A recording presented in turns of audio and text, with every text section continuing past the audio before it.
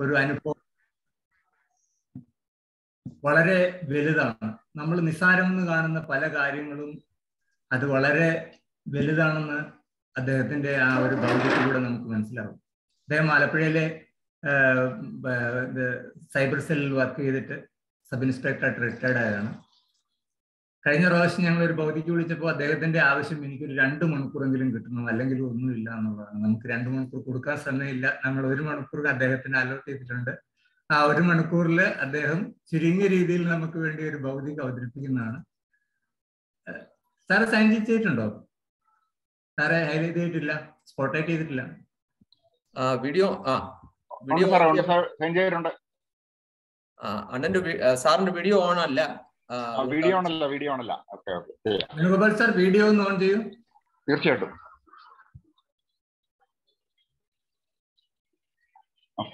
വേണുഗോപാൽ സാറിനെ സമിതിയിലെ എല്ലാവർക്കും വേണ്ടി എല്ലാ ആദരവോടുകൂടി ഇന്നത്തെ ഒരു ഭൗതിക അവതരിപ്പിക്കുന്നതിന് വേണ്ടി ഹാർദവമായി സ്വാഗതം ചെയ്യുന്നു ശ്രീ വേണുഗോപാൽ സാർ.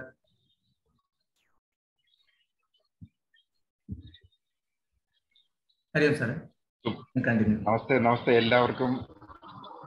സുപ്രഭാതം.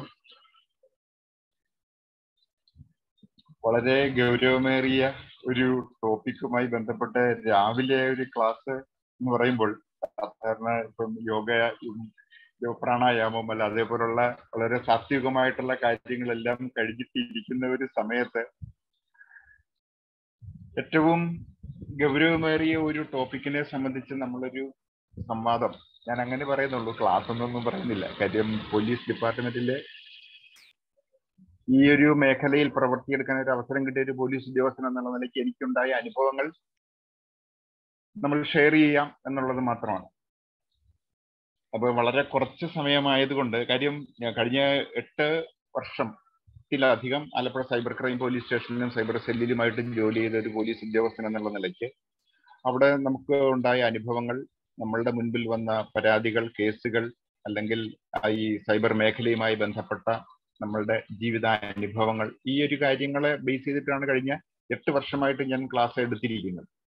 അപ്പൊ ആ അതിലൂടെ നമ്മൾ ഇങ്ങനെ നമ്മുടെ നിത്യജീവിതവുമായിട്ട് ബന്ധപ്പെട്ട അപ്പൊ ഓരോ ക്ലാസ്സുകളും നമ്മൾ കഴിയുമ്പോൾ കൂടുതൽ കൂടുതൽ കാര്യങ്ങൾ ആഡ് ചെയ്തുകൊണ്ട് ഈ ക്ലാസ് നല്ല രീതിയിൽ ആക്കണം എന്നുള്ള ഒരു ആഗ്രഹത്തിന്റെ പേരിൽ കൂടുതൽ കാര്യങ്ങൾ. തുടക്കത്തിൽ ഒരു മണിക്കൂർ മാത്രം ക്ലാസ് എടുത്തുകൊണ്ടിരുന്ന ഓരോ പ്രാവശ്യം പുതിയ പുതിയ കാര്യങ്ങൾ ആഡ് ഓൺ ചെയ്ത് ആഡ് ഓൺ ചെയ്ത് വന്ന് ഇപ്പോൾ മൂന്നര മണിക്കൂർ സമയം വരെ നമ്മൾ ക്ലാസ് എടുക്കേണ്ട ഒരു സ്ഥിതിവിശേഷം വരുന്നുണ്ട്. ഒരു സാധാരണ ഒരു ബോധവൽക്കരണ ക്ലാസ് ആണ് പക്ഷെ എങ്കിൽ പോലും കുട്ടികളുമായിട്ട് നമ്മൾ നടത്തുന്ന ഒരു സംവാദങ്ങളിൽ അല്ലെങ്കിൽ കുട്ടികൾക്ക് വേണ്ടിയിട്ട് ഈ കാര്യം പറഞ്ഞു കൊടുക്കുമ്പോൾ നമ്മൾ സ്വാഭാവികമായിട്ടും അതിന്റെ എല്ലാ മേഖലകളും ടച്ച് ചെയ്ത് പറഞ്ഞു കൊടുക്കേണ്ടത് കൊണ്ട് ആ ഇത്രയും സമയമെടുക്കും പക്ഷെ പല സ്കൂളുകളിൽ നമുക്ക് അല്ലെങ്കിൽ എവിടെ ചെന്നാലും നമുക്ക് അത്രയും വലിയൊരു സമയം ഒരു ബോധവൽക്കരണ ക്ലാസ്സിന് കിട്ടാറില്ല.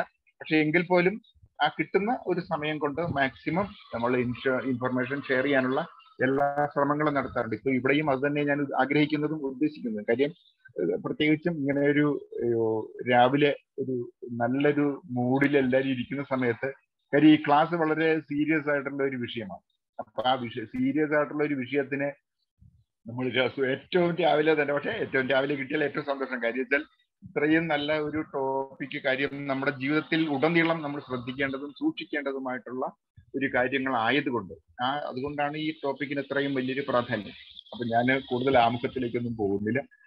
നേരെ ഇതിലേക്ക് തന്നെ പോവാം. നമ്മളുടെ ജീവിതം എല്ലാവരുടെയും ഇതിനകത്ത് വിദ്യാർത്ഥികളെന്നോ അധ്യാപകരെന്നോ സാധാരണക്കാരെന്നോ ഒന്നുമില്ല. എല്ലാവരുടെയും നിത്യജീവിതവുമായി ബന്ധപ്പെട്ട ഏറ്റവും പരമപ്രധാനമായ ഒരു സാങ്കേതിക വിദ്യയായിട്ട് നമ്മുടെ കമ്പ്യൂട്ടറും ഇൻഫർമേഷൻ ടെക്നോളജിയും മൊബൈൽ ഫോണും ഈ സാങ്കേതിക വിദ്യ വളർന്നിരിക്കുന്ന ഈ ഒരു സമയത്ത്. അത് ഒരു എൽ കെ ജി പഠിക്കുന്ന കുട്ടിയായാലും ഒരു പി എച്ച് ഡി അല്ലെങ്കിൽ പോസ്റ്റ് ഡോക്ടറേറ്റ് അല്ലെങ്കിൽ അതേപോലെ ഉന്നത സ്ഥാനീയരായിട്ടിരിക്കുന്ന ഒരാളാണെങ്കിലും സമൂഹത്തിന്റെ സമസ്ത മേഖലകളിലുള്ള ആളുകൾക്ക് അത്യന്താപേക്ഷിതമായിട്ടുള്ള ഒരു ടെക്നോളജി ആയിട്ട് ഇന്റർനെറ്റും മൊബൈൽ ഫോണും മാറിയിട്ടുണ്ട്. അപ്പോൾ ഈ മൊബൈൽ ഇന്റർ അങ്ങനെയുള്ള ഈ ഇന്റർനെറ്റിനെയും മൊബൈൽ ഫോണിനെയും നമ്മൾ എത്ര ശ്രദ്ധയോടുകൂടി സൂക്ഷിക്കണം. അങ്ങനെ സൂക്ഷിച്ചില്ലെങ്കിൽ ഉണ്ടാകുന്ന അപകടങ്ങൾ എന്താണ്? കാര്യം നമ്മൾ നമ്മളുടെ ഒരു വസ്ത്രം നമ്മുടെ ശരീരത്തോട് എത്ര ഇമ്പോർട്ടന്റ് ആണോ അതേപോലെ നമുക്ക് ഇന്ന് ഇമ്പോർട്ടന്റ് ആണ് നമ്മുടെ കയ്യിരിക്കുന്ന മൊബൈൽ. ഒന്ന് നമ്മളുടെ മൊബൈൽ ഫോൺ ഉപയോഗിച്ച് നമ്മൾ എന്തെല്ലാം കാര്യങ്ങൾ ചെയ്യുന്നു നമ്മൾ ചിന്തിച്ചു നോക്കിയാൽ മാത്രം മതി. നമ്മളുടെ അഞ്ചു ലക്ഷം രൂപ അക്കൗണ്ടിൽ കിടക്കുന്ന ഒരു ബാങ്ക് അക്കൗണ്ട് നമ്മുടെ ഫോണിൽ കയ്യിലിരിക്കുന്ന ഫോണിലെ ഒരു ഗൂഗിൾ പേയിലൂടെയോ ഫോൺ പേയിലൂടെയോ മൊബിക്വിക്കിലൂടെയോ ലിങ്ക് ചെയ്തിട്ടുണ്ട് എങ്കിൽ അതിന്റെ അർത്ഥം നമ്മൾ അഞ്ചു ലക്ഷം രൂപ നമ്മുടെ പോക്കറ്റിൽ കൊണ്ടു നടക്കുന്നതിന് തുല്യമാണ്. അഞ്ചു ലക്ഷം രൂപ നമ്മുടെ പോക്കറ്റിൽ കൊണ്ടു നടക്കുന്നതിന് തുല്യമാണ് അഞ്ചു ലക്ഷം രൂപ അക്കൗണ്ടിലുള്ള ഒരു ബാങ്ക് അക്കൗണ്ടുമായിട്ട് നമ്മുടെ കയ്യിലിരിക്കുന്ന മൊബൈൽ ഫോൺ ലിങ്ക് ചെയ്യണം. എന്ന് വെച്ചാൽ അത്രയും പ്രാധാന്യം ഈ ടെക്നോളജി കയ്യിലിരിക്കുന്ന ഉപകരണത്തിനുണ്ട് എന്ന് മനസ്സിലാക്കാൻ വേണ്ടിയാണ് ഞാൻ പറഞ്ഞത്. ഏറ്റവും പ്രധാനപ്പെട്ട രണ്ട് കാര്യങ്ങൾ. സൈബർ ഇടങ്ങൾ അല്ലെങ്കിൽ നമ്മളായാലും നമ്മുടെ കുഞ്ഞുങ്ങളായാലും നമ്മൾ കമ്പ്യൂട്ടറും ഇന്റർനെറ്റും മൊബൈൽ ഫോണും ഉപയോഗിക്കുമ്പോൾ ഏറ്റവും ശ്രദ്ധിക്കേണ്ട അറിഞ്ഞിരിക്കേണ്ട രണ്ട് കാര്യങ്ങൾ. ഒന്ന് സൈബർ കുറ്റകൃത്യങ്ങളിൽ നമ്മൾ ഇതൊരു ഒരു എത്തിക്കൽ യൂസർ ആവുക എന്നുള്ളതാണ്. ഒരു സൈബർ മേഖലയുമായി ബന്ധപ്പെട്ട ഉപകരണങ്ങളും സംവിധാനങ്ങളും ഉപയോഗിക്കുമ്പോൾ അതിനകത്തൊരു നൈതികത അല്ലെങ്കിൽ ഒരു എത്തിക്സ് എപ്പോഴും സൂക്ഷിക്കുക എന്ന് പറയാം എന്തുകൊണ്ട് അങ്ങനെ പറയുന്നതെന്ന് ചോദിച്ചാൽ നമ്മൾ സൈബർ ഇടങ്ങൾ ഉപയോഗിക്കുമ്പോൾ ഒരു കാരണവശാലും ഒരു കുറ്റവാളിയാവരുത് ഒരു ഇരയുമാവരുത്. ഇത് ഏറ്റവും പ്രധാനമാണ്. രണ്ട് കാര്യങ്ങളാണ്. എന്തുകൊണ്ടാണ് അത് ചോദിച്ചാൽ ഒന്ന് സൈബർ കുറ്റകൃത്യത്തിനകത്ത് കുറ്റവാളിയായാൽ ഒരു നിയമ സംവിധാനത്തിനും നമ്മളെ രക്ഷപ്പെടുത്താൻ പറ്റുക കാര്യം ഞാൻ ചെയ്തു വച്ചിരിക്കുന്ന കാര്യങ്ങൾ തന്നെ എനിക്കെതിരെയുള്ള തെളിവുകളായിട്ട് വരും. ഇപ്പം നമ്മളുടെ മുൻപിലുള്ള നൂറുകണക്കിന് കേസുകളുടെ സിനിമാ നടൻ ദിലീപിന്റെ കേസ് ഈ മുഖ്യമന്ത്രിയുടെ പ്രിൻസിപ്പൽ സെക്രട്ടറി ആയിരുന്ന ശിവശങ്കർ സാറിന്റെ കേസ് സ്വപ്ന സുരേഷിന്റെ കേസ് ഇത്തരത്തിലുള്ള നൂറ് കേസുകൾ നമ്മുടെ മുൻപിൽ നിൽക്കണം ഒരു കാരണവശാലും ഒരു നിയമ സംവിധാനത്തിന് കാര്യം കോടതിക്ക് ഒരാളിനെ ശിക്ഷിക്കാതിരിക്കാൻ പറ്റുകയില്ല സൈബർ കുറ്റകൃത്യത്തിനകത്ത്. അതാണ് അതിന്റെ ഒരു പ്രധാനം. കാര്യം പലപ്പോഴും കോടതികൾ ഒരാളിനെ വിടുന്നത് ആ ആളിന് സ്വാഭാവികമായിട്ടും ഇയാളെ ശിക്ഷിക്കാൻ പര്യാപ്തമായ തെളിവുകൾ കോടതിയുടെ മുൻപാകെ ഹാജരാക്കാൻ പ്രോസിക്യൂഷന് കഴിഞ്ഞില്ല എന്നൊരു കാരണത്താലായിരിക്കും തൊണ്ണൂറ് ശതമാനം കോടതികൾ ഒരാളിനെ ശിക്ഷിക്കാതെ വിടുന്നത്. സംശയത്തിന്റെ ആനുകൂല്യങ്ങളൊക്കെ പിന്നെ അതായത് ഈ കാര്യം. പക്ഷെ ഇവിടെ എന്ന് പറഞ്ഞാൽ ആ ഒരു വിഷയമില്ല. കാര്യം ഡിജിറ്റൽ എവിഡൻസുകൾ അവിടെയുണ്ട്. രണ്ട് സൈബർ കുറ്റകൃത്യത്തിനകത്ത് വിക്റ്റിമായാൽ വിക്റ്റിമ അതുകൊണ്ടാണ് വിറ്റ് കുറ്റവാളി ആകരുത് വിക്റ്റിമാകരുത് എന്ന് പറഞ്ഞത്. സൈബർ കുറ്റകൃത്യത്തിനകത്ത് വിക്റ്റിമായാൽ ഈ വിക്റ്റിമൈസേഷൻ എന്ന് പറയുന്ന ആ ഒരു പ്രോസസ് എത്ര കാലം നിൽക്കും എന്നുള്ളതിനെ കുറിച്ച് നമുക്ക് ഇമാജിൻ ചെയ്യാൻ പോലും പറ്റില്ല. ചിലപ്പം ഒരു ജീവിതം മുഴുവൻ നമ്മൾ അതിന് പകരം കൊടുക്കേണ്ടി അവിടെയാണ് ഇതിന്റെ ഏറ്റവും വലിയ. ഒരു ജീവിതം മുഴുവൻ പകരം കൊടുക്കേണ്ടത് നമുക്ക് ഒട്ടനവധി കേസുകൾ നമ്മുടെ മുൻപിലുണ്ട് ഒരു ആയിരക്കാരി ഉദാഹരണങ്ങൾ പോലും എനിക്ക് ഈ രാവിലത്തെ ഒരു സമയത്ത് അങ്ങനത്തെ ഉദാഹരണങ്ങൾ പോലും പറയാൻ ആഗ്രഹമില്ല. കാര്യം അത്രയും ഭീകരമായിട്ടുള്ള സംഭവങ്ങൾ നമ്മുടെ മുൻപിൽ നടക്കുന്നു. അപ്പോൾ എന്നെ ഞാൻ സിമ്പിൾ ആണ് എന്നെ കുറിച്ച് മോശമായി ചിത്രീകരിച്ച ഒരു വീഡിയോ ആരെങ്കിലും യൂട്യൂബിനകത്തേക്ക് അപ്ലോഡ് ചെയ്താൽ ആ അപ്ലോഡ് ചെയ്ത വീഡിയോ അവിടെ നിന്ന് മാറ്റാൻ രണ്ടേ രണ്ട് മാർഗങ്ങളെ നമ്മുടെ മുമ്പിലുള്ളൂ. ഒന്നെങ്കിൽ ആരാണോ അപ്ലോഡ് ചെയ്തത് അവനെ കൊണ്ട് അത് റിമൂവ് ചെയ്യിക്കണം. രണ്ട രണ്ടാമത്തെ ഒരു ഓപ്ഷൻ എന്ന് പറഞ്ഞാൽ ഇതിന്റെ പേരിലുള്ള നിയമപരമായ നടപടി. പോലീസ് സ്റ്റേഷനിൽ പരാതി കൊടുത്ത് അവിടെ നിന്ന് സൈബർ ക്രൈം പോലീസ് സ്റ്റേഷനിൽ വന്ന് ജില്ലാ പോലീസ് മേധാവിയുടെ സീലും സിഗ്നേച്ചറോടും കൂടി അമേരിക്കയിലോ കാനഡയിലോ ഇരിക്കുന്ന യൂട്യൂബിന്റെ അധികൃതർക്ക് അയച്ചു കൊടുത്ത് അവരെ കൊണ്ട് നിയമപരമായി അവരുടെ വെബ്സൈറ്റിൽ നിന്ന് റിമൂവ് ചെയ്യണം. ഈ പ്രോസസ് ഇതിനുള്ള പ്രോസസ്സിംഗ് ടൈം എന്ന് പറഞ്ഞാൽ ചിലപ്പോൾ ഒരു ഒരു പത്ത് ദിവസം എടുത്തെന്ന് വിചാരിക്കുക. പോലീസ് സ്റ്റേഷനിൽ കൊടുത്തു പരാതി. നമ്മളെ കുറിച്ച് മോശമായി ചിത്രീകരിച്ച ഒരു വീഡിയോ നമ്മൾ അറിയുന്നത് തന്നെ എത്രയോ ദിവസങ്ങൾക്ക് ശേഷമായി. അതിനുശേഷം പരാതി കൊടുത്ത് അവിടെ നിന്നും ഈ പ്രോസസ്സ് പൂർത്തിയാക്കി വരുന്ന സംഭവം ഒരു പത്തോ ഇരുപതോ ദിവസം കൊണ്ടായിരിക്കും ഈ പ്രോസസ് കംപ്ലീറ്റ് ആകുക ഈ ഇരുപത് ദിവസത്തിനുള്ളിൽ ഈ വീഡിയോ കണ്ട എത്രയോ ആളുകൾ ഇത് ഡൗൺലോഡ് ചെയ്ത് വെച്ചിട്ടുണ്ടാവാം. യൂട്യൂബിന് ഒരു നിയമപരമായ സി ആർ പി സി അനുസരിച്ച് ഒരു നോട്ടീസ് കൊടുക്കുകയാണെങ്കിൽ അവർ തീർച്ചയായിട്ടും യൂട്യൂബിന്റെ അവർ പരിശോധിച്ചതിന് ശേഷം അവരുടെ വെബ്സൈറ്റിൽ നിന്ന് ആ വീഡിയോ റിമൂവ് ചെയ്യും. പക്ഷേ ഈ റിമൂവ് ചെയ്യുന്ന ആ ഒരു പതിനഞ്ചോ ഇരുപതോ ദിവസത്തിനുള്ളിൽ എത്രയോ ആളുകൾ ഈ വീഡിയോ ഡൗൺലോഡ് ചെയ്ത് വെച്ചിട്ടുണ്ടാവും. വീഡിയോ പോയി എന്ന് കരുതി വീഡിയോ റിമൂവ് യൂട്യൂബ് എടുത്തു കളഞ്ഞപ്പോൾ നമ്മൾ നോക്കുമ്പോൾ യൂട്യൂബിനകത്ത് വീഡിയോ ഇല്ല. സമാധാനം എന്ന് കരുതി നമ്മൾ ജീവിക്കും. പക്ഷെ പിന്നീട് ഒരു കൊല്ലോ രണ്ട് കൊല്ലോ മൂന്ന് കൊല്ലോ കഴിഞ്ഞ് ഈ വീഡിയോ വരികയില്ല എന്ന് എന്താ ഉറപ്പ്? ഒരു ഉറപ്പുമില്ല അപ്പോൾ വിക്ടിമൈസേഷൻ എന്ന് പറയുന്ന ഒരു പ്രോസസ് ഏറ്റവും പ്രധാനപ്പെട്ട കാര്യം സൈബർ കുറ്റകൃത്യത്തിനകത്ത് കുറ്റവാളിയാകുന്നതിനേക്കാൾ പ്രധാനമാണ് വിധേയാകാതിരിക്കുക കുറ്റവാളിയായ അവൻ കുറ്റം ചെയ്തിട്ടാണ് അവൻ ശിക്ഷ അനുഭവിക്കുന്നതെന്ന് പറയാം. വിക്ടിം അതല്ല. വിക്റ്റിം അതല്ല. വിക്റ്റിം എന്ന് പറഞ്ഞാൽ നമ്മൾ ചിന്തിക്കാൻ പോലും പറ്റാത്ത തരത്തിലായിരിക്കും ചിലപ്പം വിക്റ്റിം ആക്കപ്പെടുക ആകപ്പെടുക. അങ്ങനെ ആയാൽ ആ വിക്റ്റിം ആക്കൽപ്പെടുക എന്ന് പറയുന്ന ഒരു പ്രക്രിയ ചിലപ്പോൾ ഒരു ജീവിതകാലം മുഴുവൻ ഒരു നൂറ് അനുഭവങ്ങൾ എനിക്ക് നിങ്ങൾ പറയാൻ പറ്റും. അപ്പൊ അതുകൊണ്ട് ഒരു കാരണവശാലും സൈബർ കുറ്റകൃത്യത്തിനകത്ത് നമ്മൾ മൊബൈൽ ഫോൺ എടുക്കുമ്പോൾ വാട്സാപ്പ് എടുക്കുമ്പോൾ ഫേസ്ബുക്ക് എടുക്കുമ്പോൾ ട്വിറ്റർ എടുക്കുമ്പോൾ ഫ്ലിക്കർ എടുക്കുമ്പോൾ ഇൻസ്റ്റാഗ്രാം എടുക്കുമ്പോൾ സൈബർ സ്പേസുമായി ബന്ധപ്പെട്ട ഉപകരണങ്ങളും സംവിധാനങ്ങളും നമ്മൾ എപ്പോൾ ഉപയോഗിക്കുമ്പോഴും നമ്മളും നമ്മുടെ കുഞ്ഞുങ്ങളോടും നമ്മൾക്കറിയാവുന്നവരോടും നമ്മൾ പറഞ്ഞു കൊടുക്കും. ഒരു കാരണവശാലും നിങ്ങൾ സൈബർ ഇടങ്ങൾ കൈകാര്യം ചെയ്യുമ്പോൾ കുറ്റവാളിയാകരുത് ഇരയുമാകരുത്. ഇത് ഏറ്റവും പ്രധാനപ്പെട്ട കാര്യം. രണ്ട് സൈബർ മേഖലയുമായി ബന്ധപ്പെട്ട സാധനങ്ങൾ ഉപയോഗിക്കുമ്പോൾ ഒരു നൈതികത ഞാൻ നേരത്തെ പറഞ്ഞ പോലെ നമ്മളൊരു ഇത് ഉപയോഗിക്കുന്ന ഒരു സ്വഭാവമായിട്ട് പരിണാമപ്പെടണം. നന്മയ്ക്ക് വേണ്ടി മാത്രമേ ഇത് ഉപയോഗിക്കാൻ പാടുള്ളൂ. ഒരു കുഞ്ഞിനൊരു മൊബൈൽ നമ്മൾ മേടിച്ച് നമ്മൾ മോട്ടോർ സൈക്കിൾ മേടിച്ചു കൊടുക്കുമ്പോൾ കുഞ്ഞുങ്ങളോട് പറഞ്ഞു കൊടുക്കും ഇതിന് ലൈസൻസ് എടുക്കണം ഉപയോഗിക്കാൻ. അല്ലെങ്കിൽ ഹെൽമെറ്റ് വെച്ച് ഓടിക്കാവുള്ളൂ. മൂന്ന് പേരുമായിട്ട് വണ്ടി ഓടിക്കരുത് എന്ന് പറഞ്ഞ് കുറെ കാര്യങ്ങൾ കുഞ്ഞുങ്ങളുടെ അടുത്ത് പറഞ്ഞു കൊടുക്കുന്നത് പോലെ തന്നെയാണ് അല്ലെങ്കിൽ അതിനേക്കാൾ പ്രാധാന്യം കൊണ്ട് ഒരു മൊബൈൽ കുഞ്ഞിനെ കൊടുക്കും. ഒരു കാരണവശാലും ഈ മൊബൈൽ ഉപയോഗിച്ച് തെറ്റായ ഒരു കാര്യം നീ ചെയ്യരുത്. നല്ല കാര്യങ്ങൾക്ക് വേണ്ടിയിട്ട് മാത്രമേ ചെയ്യാവൂ. ഇൻഫർമേഷൻ ഗാദർ ചെയ്യാൻ നിന്റെ ബുദ്ധി വളരാൻ നിന്റെ മറ്റ് എൻജോയ് ചെയ്യാനുള്ള മറ്റേത് കാര്യങ്ങൾക്കും നിനക്ക് ഉപയോഗിക്കാം. പക്ഷെ നല്ലതിന് വേണ്ടി മാത്രമേ ഇത് ഉപയോഗിക്കൂ. ഒരു എത്തിക്കൽ യൂസർ ആവുക എന്നുള്ളതാണ് ഇതിനകത്ത് ഏറ്റവും ഇതൊരു സ്വഭാവം ഒരു കൾച്ചറായിട്ട് സംസ്കാരമായിട്ട് പരിണാമപ്പെടണം.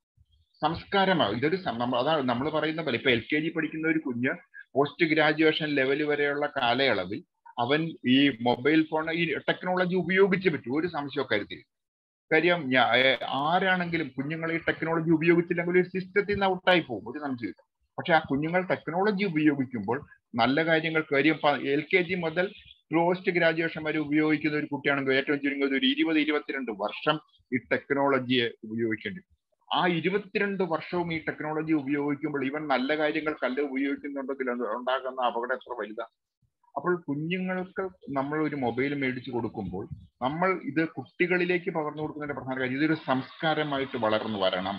കാര്യം നമ്മൾ ജീവിതത്തോട് ഇത്രയും ചേർത്ത് അല്ലെങ്കിൽ പകരം ഒരു സംവിധാനം കണ്ടുപിടിക്കണം. പകരം ഒരു സംവിധാനം കണ്ടുപിടിക്കുന്നവരെ എല്ലാവരും ഈ ടെക്നോളജി ഉപയോഗിച്ച് അപ്പൊ ഇവിടെ ഏറ്റവും പ്രധാനമായിട്ട് നമ്മൾ ശ്രദ്ധിക്കേണ്ട അഞ്ച് കാര്യങ്ങൾ. അഞ്ച് അത് മാത്രം പറയാനുള്ള ഈ ഒരു മണിക്കൂർ സമയമുള്ളൂ. ആ ഒരൊറ്റ മണിക്കൂർ കൊണ്ട് ആ അഞ്ച് കാര്യങ്ങൾ മാത്രമേ ഞാൻ പറയാനും ആഗ്രഹിക്കുന്നു.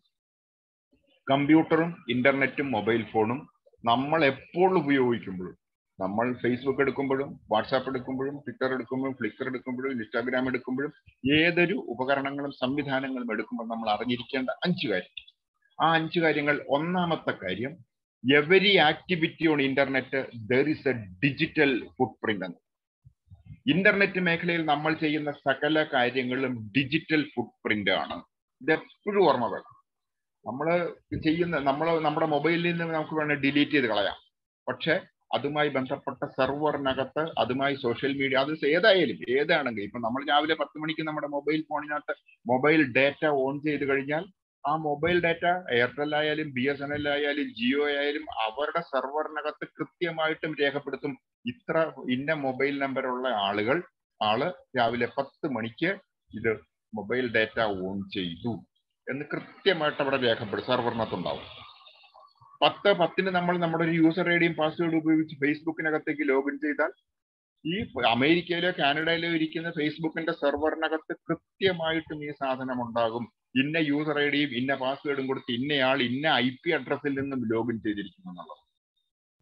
അപ്പൊ ഐ അത് അത് നമ്മൾ പോലും അറിയാതെ ഇത് നടക്കുന്ന ഒരു പ്രോസസ്സാണ് അപ്പോൾ നമ്മൾ ഏതെങ്കിലും സമയത്ത് നമ്മൾ ഒരു ഈ ഒരു ഇന്ന് തുടങ്ങി ഇന്നൊരു ഫേസ്ബുക്ക് അക്കൗണ്ട് തുടങ്ങി. ഒരു നാല് കൊല്ലം അഞ്ചു കൊല്ലം നമ്മൾ ഒരു കുഴപ്പമില്ലാതെ അങ്ങ് കൊണ്ടുപോയി. അഞ്ചു കൊല്ലം കഴിഞ്ഞിട്ട് നമ്മൾ ഈ അക്കൗണ്ട് ഉപയോഗിച്ച് ഏതെങ്കിലും വിധത്തിലുള്ള ഒരു സൈബർ കുറ്റകൃത്യം ചെയ്താൽ പോലീസോ എൻഫോഴ്സ്മെന്റ് ഏജൻസിയോ നേരെ ഫേസ്ബുക്കിനോട് ചോദിക്കും ഈ അക്കൗണ്ടിന്റെ ഉടമസ്ഥൻ ആരാണ്? അവരെന്ത് പറയും? ഇന്ന് രണ്ടായിരത്തി ഇരുപത്തിരണ്ട് ഓഗസ്റ്റ് മാസം ഏഴാം തീയതി അല്ലെങ്കിൽ ആറാം തീയതി ഈ അക്കൗണ്ട് ഉപയോഗിച്ച സമയം ഓപ്പൺ ചെയ്ത സമയത്ത് ഞങ്ങൾ ഒരു വെരിഫിക്കേഷൻ കോഡ് അതിനകത്തേക്ക് അയച്ചിരുന്നു അവരുടെ മൊബൈൽ നമ്പറിലേക്ക്.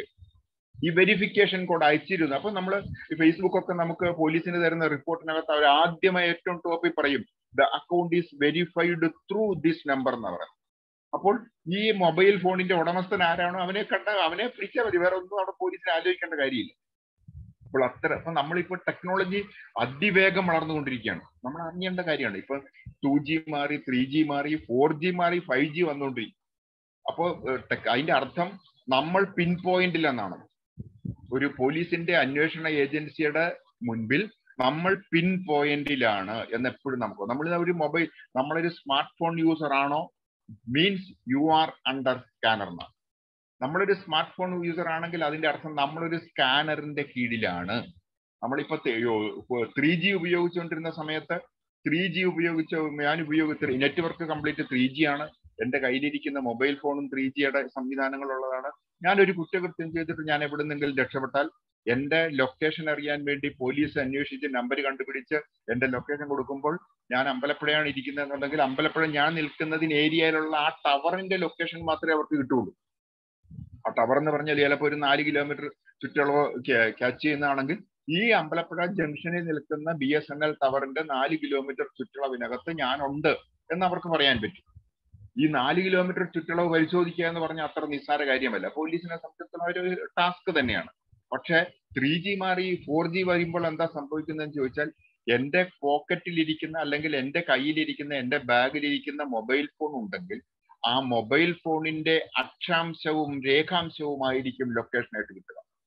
അപ്പോൾ പോലീസിനെ സംബന്ധിച്ചിടത്തോളം ഈ ലൊക്കെ എന്റെ ലൊക്കേഷൻ കുറ്റവാളിയെ കണ്ടുപിടിക്കാനുള്ള ഒരു കാര്യം എന്ന് പറഞ്ഞാൽ ഈ ലൊക്കേഷൻ കിട്ടുന്ന അക്ഷാംശവും രേഖാംശവും കോപ്പി ചെയ്ത് നേരെ ഗൂഗിൾ മാപ്പിനകത്ത് കൊണ്ടുവന്ന് പേസ്റ്റ് ചെയ്ത് ഡയറക്ഷൻ കൊടുത്തു കഴിഞ്ഞാൽ ഈ പോലീസ് ഓഫീസർ നിൽക്കുന്ന അവിടെ നിന്നും ഞാൻ നിൽക്കുന്ന സ്ഥലത്തേക്ക് നേരെ വണ്ടി ഓടിച്ചു വരും ഒരു കുഴപ്പമില്ല. നേരെ വന്ന് പിൻ പോയിന്റ് എന്ന് പറയുന്നത് മിനി മീറ്ററുകളുടെ അകലത്തിൽ പോലും കണ്ടുപിടിക്കാൻ പറ്റും.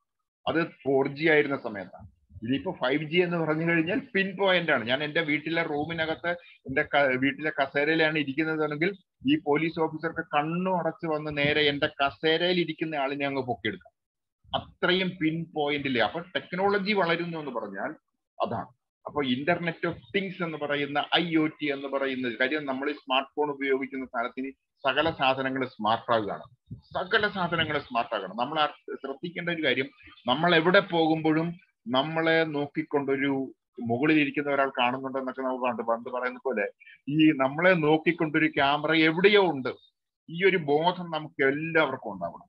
നമ്മൾ എവിടെ പോകുമ്പോഴും somebody watching me somebody is watching me എന്നൊരു ബോധം നമുക്കുണ്ടാവും. കാര്യം അത് കൃത്യമാണ്. ഒരു സംശയവും കരുതില്ല നമ്മൾ പറയുന്ന പോലെയല്ല.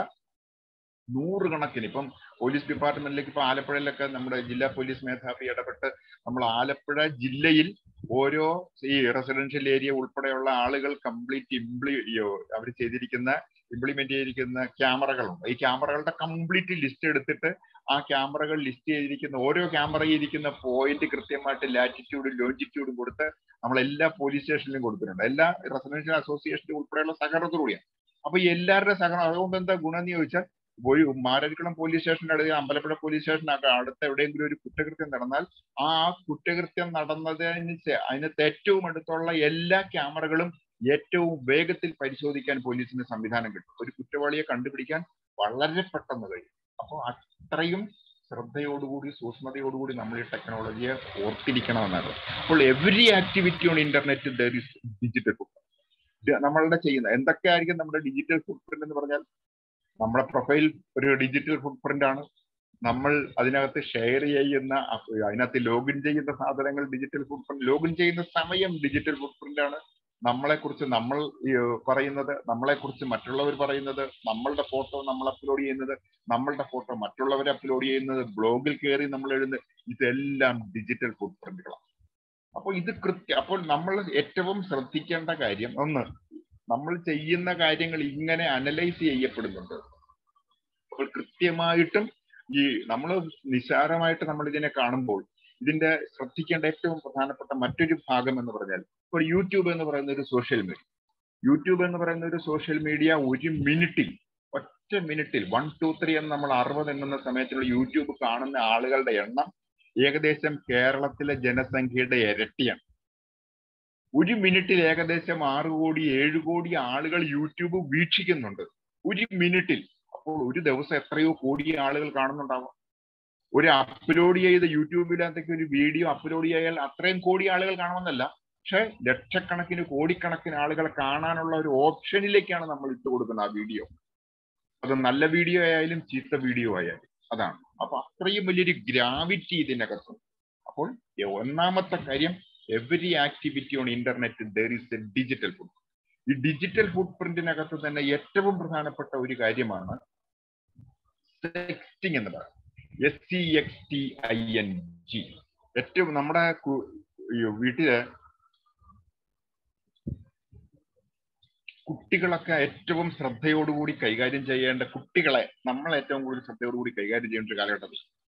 കാര്യം ഞാൻ പറയാൻ കാര്യം ഈ ഇപ്പൊ ഈ ഇരിക്കുന്ന ഗ്രൂപ്പുകളിൽ ഞാൻ കാണുന്ന എന്റെ ഗ്രൂപ്പിൽ ഈ ഗ്രൂപ്പ് വീഡിയോയിൽ കാണുന്നവരെല്ലാവരും ഒരു മുപ്പത്തഞ്ച് നാൽപ്പത് വയസ്സിന് മുകളിലുള്ളവരായിട്ടാണ്. കുട്ടികളാരും ഞാൻ കാണാത്ത കൊണ്ട് ഞാൻ പറഞ്ഞു അപ്പോൾ മുപ്പത് ആ ഒരു കാലഘട്ടത്തിൽ അല്ലെങ്കിൽ ആ ഒരു ഏജ് ഗ്രൂപ്പിലുള്ള ആളുകളെല്ലാം കോളേജിലോ സ്കൂളുകളിലോ ഒക്കെ പഠിച്ചിരുന്ന സമയത്ത് ഒരു കുട്ടികളുടേതായിട്ടുള്ള ആ ഒരു ചാബല്യങ്ങൾ അല്ലെങ്കിൽ യുവത്വത്തിന്റെതായ കൗമാരത്തിന്റെതായിട്ടുള്ള ചാബല്യങ്ങളൊക്കെ നടത്തിയിരുന്ന ഒരു കാലഘട്ടം എന്ന് പറഞ്ഞാൽ പ്രീ ഡിഗ്രി ഡിഗ്രി ലെവലിൽ തൊട്ടാണ്.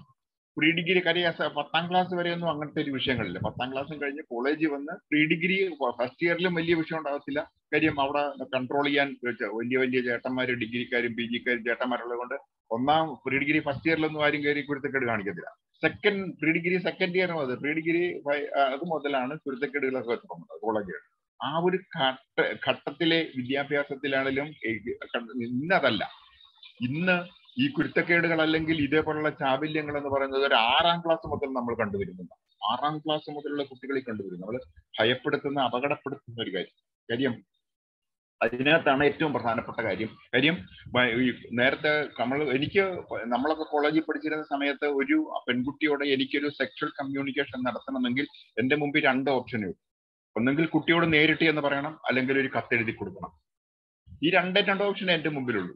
അപ്പോൾ നേരിട്ട് എന്ന് പറഞ്ഞാൽ ചിലപ്പോൾ ഈ പെൺകുട്ടി നല്ല തന്റെ ഇടയിലുള്ള പെൺകുട്ടിയാണെങ്കിൽ ചിലപ്പോൾ ഒരു അടിയും തന്നാൽ അത് അത് ഭയങ്കര അപമാനമായിരിക്കും. അപ്പൊ അതുകൊണ്ട് നേരിട്ട് ചെന്ന് പറയാനുള്ള ധൈര്യം ഉണ്ടാവാതെ കത്തെഴുതി കൊടുക്കാനുള്ള ധൈര്യമേ അന്നത്തെ കാലത്ത് കാണിച്ചുള്ളൂ എങ്കിൽ ഇന്ന് അതല്ല.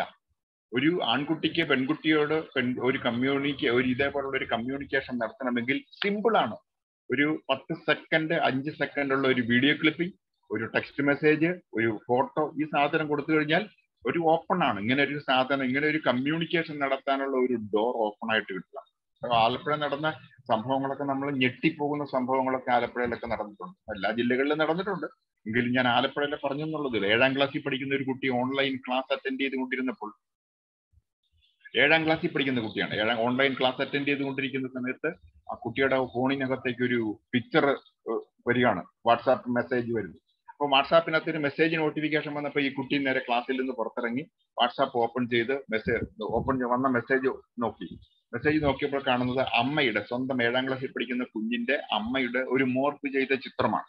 അമ്മയുടെ തല മാത്രമേ ഉള്ളൂ താഴേക്കുള്ള ശരീരം ഒരു ന്യൂഡ് ഫോട്ടോ വെച്ചിട്ട് ആരോ ഈ കുട്ടിക്ക് അയച്ചു കൊടുക്കും ഈ കുട്ടിയെ ഒരമ്മയുടെ ഫോട്ടോ ഇതേപോലെ ഒരു ഫോട്ടോ കണ്ട് കുഞ്ഞാ പേടിച്ച് നേരെ അമ്മയുടെ കൊണ്ട് ഫോൺ കൊടുത്തു. അമ്മ ഈ മൊബൈലുമായിട്ട് നേരെ പോലീസ് സ്റ്റേഷനിൽ വന്നു പരാതി തന്നു. നമ്മൾ നോക്കിയപ്പോൾ സാധാരണ മൊബൈൽ നമ്പറിൽ നിന്നും വ്യത്യസ്തമായിട്ട് ഇന്റർനെറ്റിനകത്ത് രജിസ്റ്റർ ചെയ്യുന്ന നമ്പറിലൂടെയാണ് ഈ ഫോട്ടോ അയച്ചിരിക്കുന്നത്. നമ്മൾ ആ മൊബൈൽ മേടിച്ച് പരാതി സ്വീകരിച്ചിട്ട് പറഞ്ഞു ഇത് നെറ്റ് നമ്പറാണ്. ഈ ഉടമസ്ഥനെ കണ്ടുപിടിക്കാൻ ഒരു ഇത്തിരി സമയം നമുക്ക് എടുക്കും.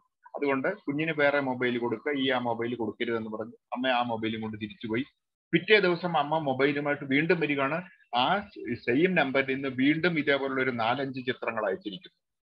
ഈ അമ്മയുടെ ചിത്രമല്ല വേറെ പെൺകുട്ടികളുടെ ചിത്രങ്ങൾ അയച്ചിട്ട് ഈ ഏഴാം ക്ലാസ്സിൽ പഠിക്കുന്ന കുട്ടിയോട് ഈ നമ്പർ ഫോട്ടോ അയച്ചവൻ ആവശ്യപ്പെടുന്നു. ഇതേപോലുള്ള നിന്റെ ചിത്രങ്ങൾ അയച്ചു തരൂ എന്നാ പറയും അപ്പൊ നമ്മൾ ഈ നെറ്റ് നമ്പർ കണ്ടുപിടിക്കാനുള്ള ഓരോ സൈബർ ക്രൈം പോലീസ് സ്റ്റേഷനിലും അതിന്റെതായിട്ടുള്ള സാങ്കേതികമായിട്ടുള്ള പരിധികളുണ്ട്. പക്ഷെ തിരുവനന്തപുരത്ത് നമ്മുടെ ഒരു അഞ്ഞൂറിലധികം കമ്പ്യൂട്ടർ എഞ്ചിനീയേഴ്സ് പ്രവർത്തിക്കുന്ന സൈബർ ഡോം എന്ന് പറയുന്ന ഒരു സംവിധാനമുണ്ട്. ഹൈടെക് സെല്ലുണ്ട് അപ്പൊ അവരുടെ കൂടെ സഹായത്തോടു കൂടി നമ്മൾ ഈ ഇതിന്റെ ഉടമസ്ഥനെ കണ്ടുപിടിക്കാനുള്ള ശ്രമം നടത്തി. ഏകദേശം ഒരു മൂന്ന് നാല് മണിക്കൂർ എടുത്തു കഴിഞ്ഞാൽ നമ്മൾ കൃത്യമായിട്ട് കാര്യം ഒരു ഇത്രയും വലിയ ഗുരുതരമായി കുറ്റകൃത്യം ഒരാളിന്റെ പേരിൽ ആരോപിക്കുകയാണ്. അപ്പോൾ ഈ ആൾ കൃത്യമാണ് എന്ന് ഐഡന്റിഫൈ ചെയ്യാതെ നമുക്കത് പറയാനും പറ്റില്ല അങ്ങനെ നമ്മൾ ഐഡന്റിഫൈ ചെയ്ത് ആളിനെ കണ്ടുപിടിച്ചപ്പോൾ എന്താ സംഭവിച്ചതെന്ന് ചോദിച്ചാൽ ഈ പെൺകുട്ടിയുടെ സ്വന്തം വീട്ട് പെൺകുട്ടിയുടെ വീട്ടിലെ അടുക്കളയിൽ കയറി ഭക്ഷണം കഴിക്കാൻ സ്വാതന്ത്ര്യമുള്ള തൊട്ട അയൽവക്കത്തെ വീട്ടിലെ പയ്യനാണ് ചെയ്തത്. തൊട്ട അയൽവക്കത്തെ വീട്ടിലെ പയ്യൻ വീട്ടിൽ ദിവസവും കയറി ഇറങ്ങി നടന്ന വീട്ടിന്റെ അടുക്കളയിൽ നിന്ന് ഭക്ഷണം എടുത്തു കഴിക്കാൻ സ്വാതന്ത്ര്യമുള്ള പയ്യൻ ഈ ഏഴാം ക്ലാസ്സിൽ പഠിക്കുന്ന കുട്ടിയുടെ അമ്മയുടെ ചിത്രം കളക്ട് ചെയ്ത് അതൊരു മോർഫ് ചെയ്ത ചിത്രമാക്കി കുട്ടിക്ക് അയച്ചു കൊടുത്തിട്ട് അതേപോലുള്ള വേറെ പല ചിത്രങ്ങളും അയച്ചു കൊടുത്തിട്ട് ഏഴാം ക്ലാസ്സിലെ പഠിക്കുന്ന കുട്ടിയോട് ഇങ്ങനത്തെ ചിത്രങ്ങൾ ചോദിക്കുകയാണ്. അപ്പൊ നമ്മൾ നമ്മൾ നമ്മൾ നമ്മൾ ഞെട്ടിപ്പോകുന്നത് അത് ഇതേപോലെ നൂറുകണക്കിന് സംഭവങ്ങൾ നടക്കുന്നുണ്ട്. അപ്പോൾ ഞാനിത് പറയാൻ കാരണം ഈ ഡിജിറ്റൽ ഫുട് പ്രിന്റ് എന്ന് പറയുന്ന ഈ ഭാഗത്ത് സെക്സ്റ്റിംഗ് എന്ന് പറയുന്ന ഒരു ആലപ്പുഴ നമ്മൾ എടുത്തിരിക്കുന്ന കേസുകളുണ്ട്. വിവാഹമുറപ്പിച്ച ആൺകുട്ടിയും പെൺകുട്ടിയും. പ്രായപൂർത്തിയായ പെൺകു ആൺകുട്ടിയും പെൺകുട്ടിയും വിവാഹമുറപ്പിച്ച ആൺകുട്ടിയും പെൺകുട്ടിയും.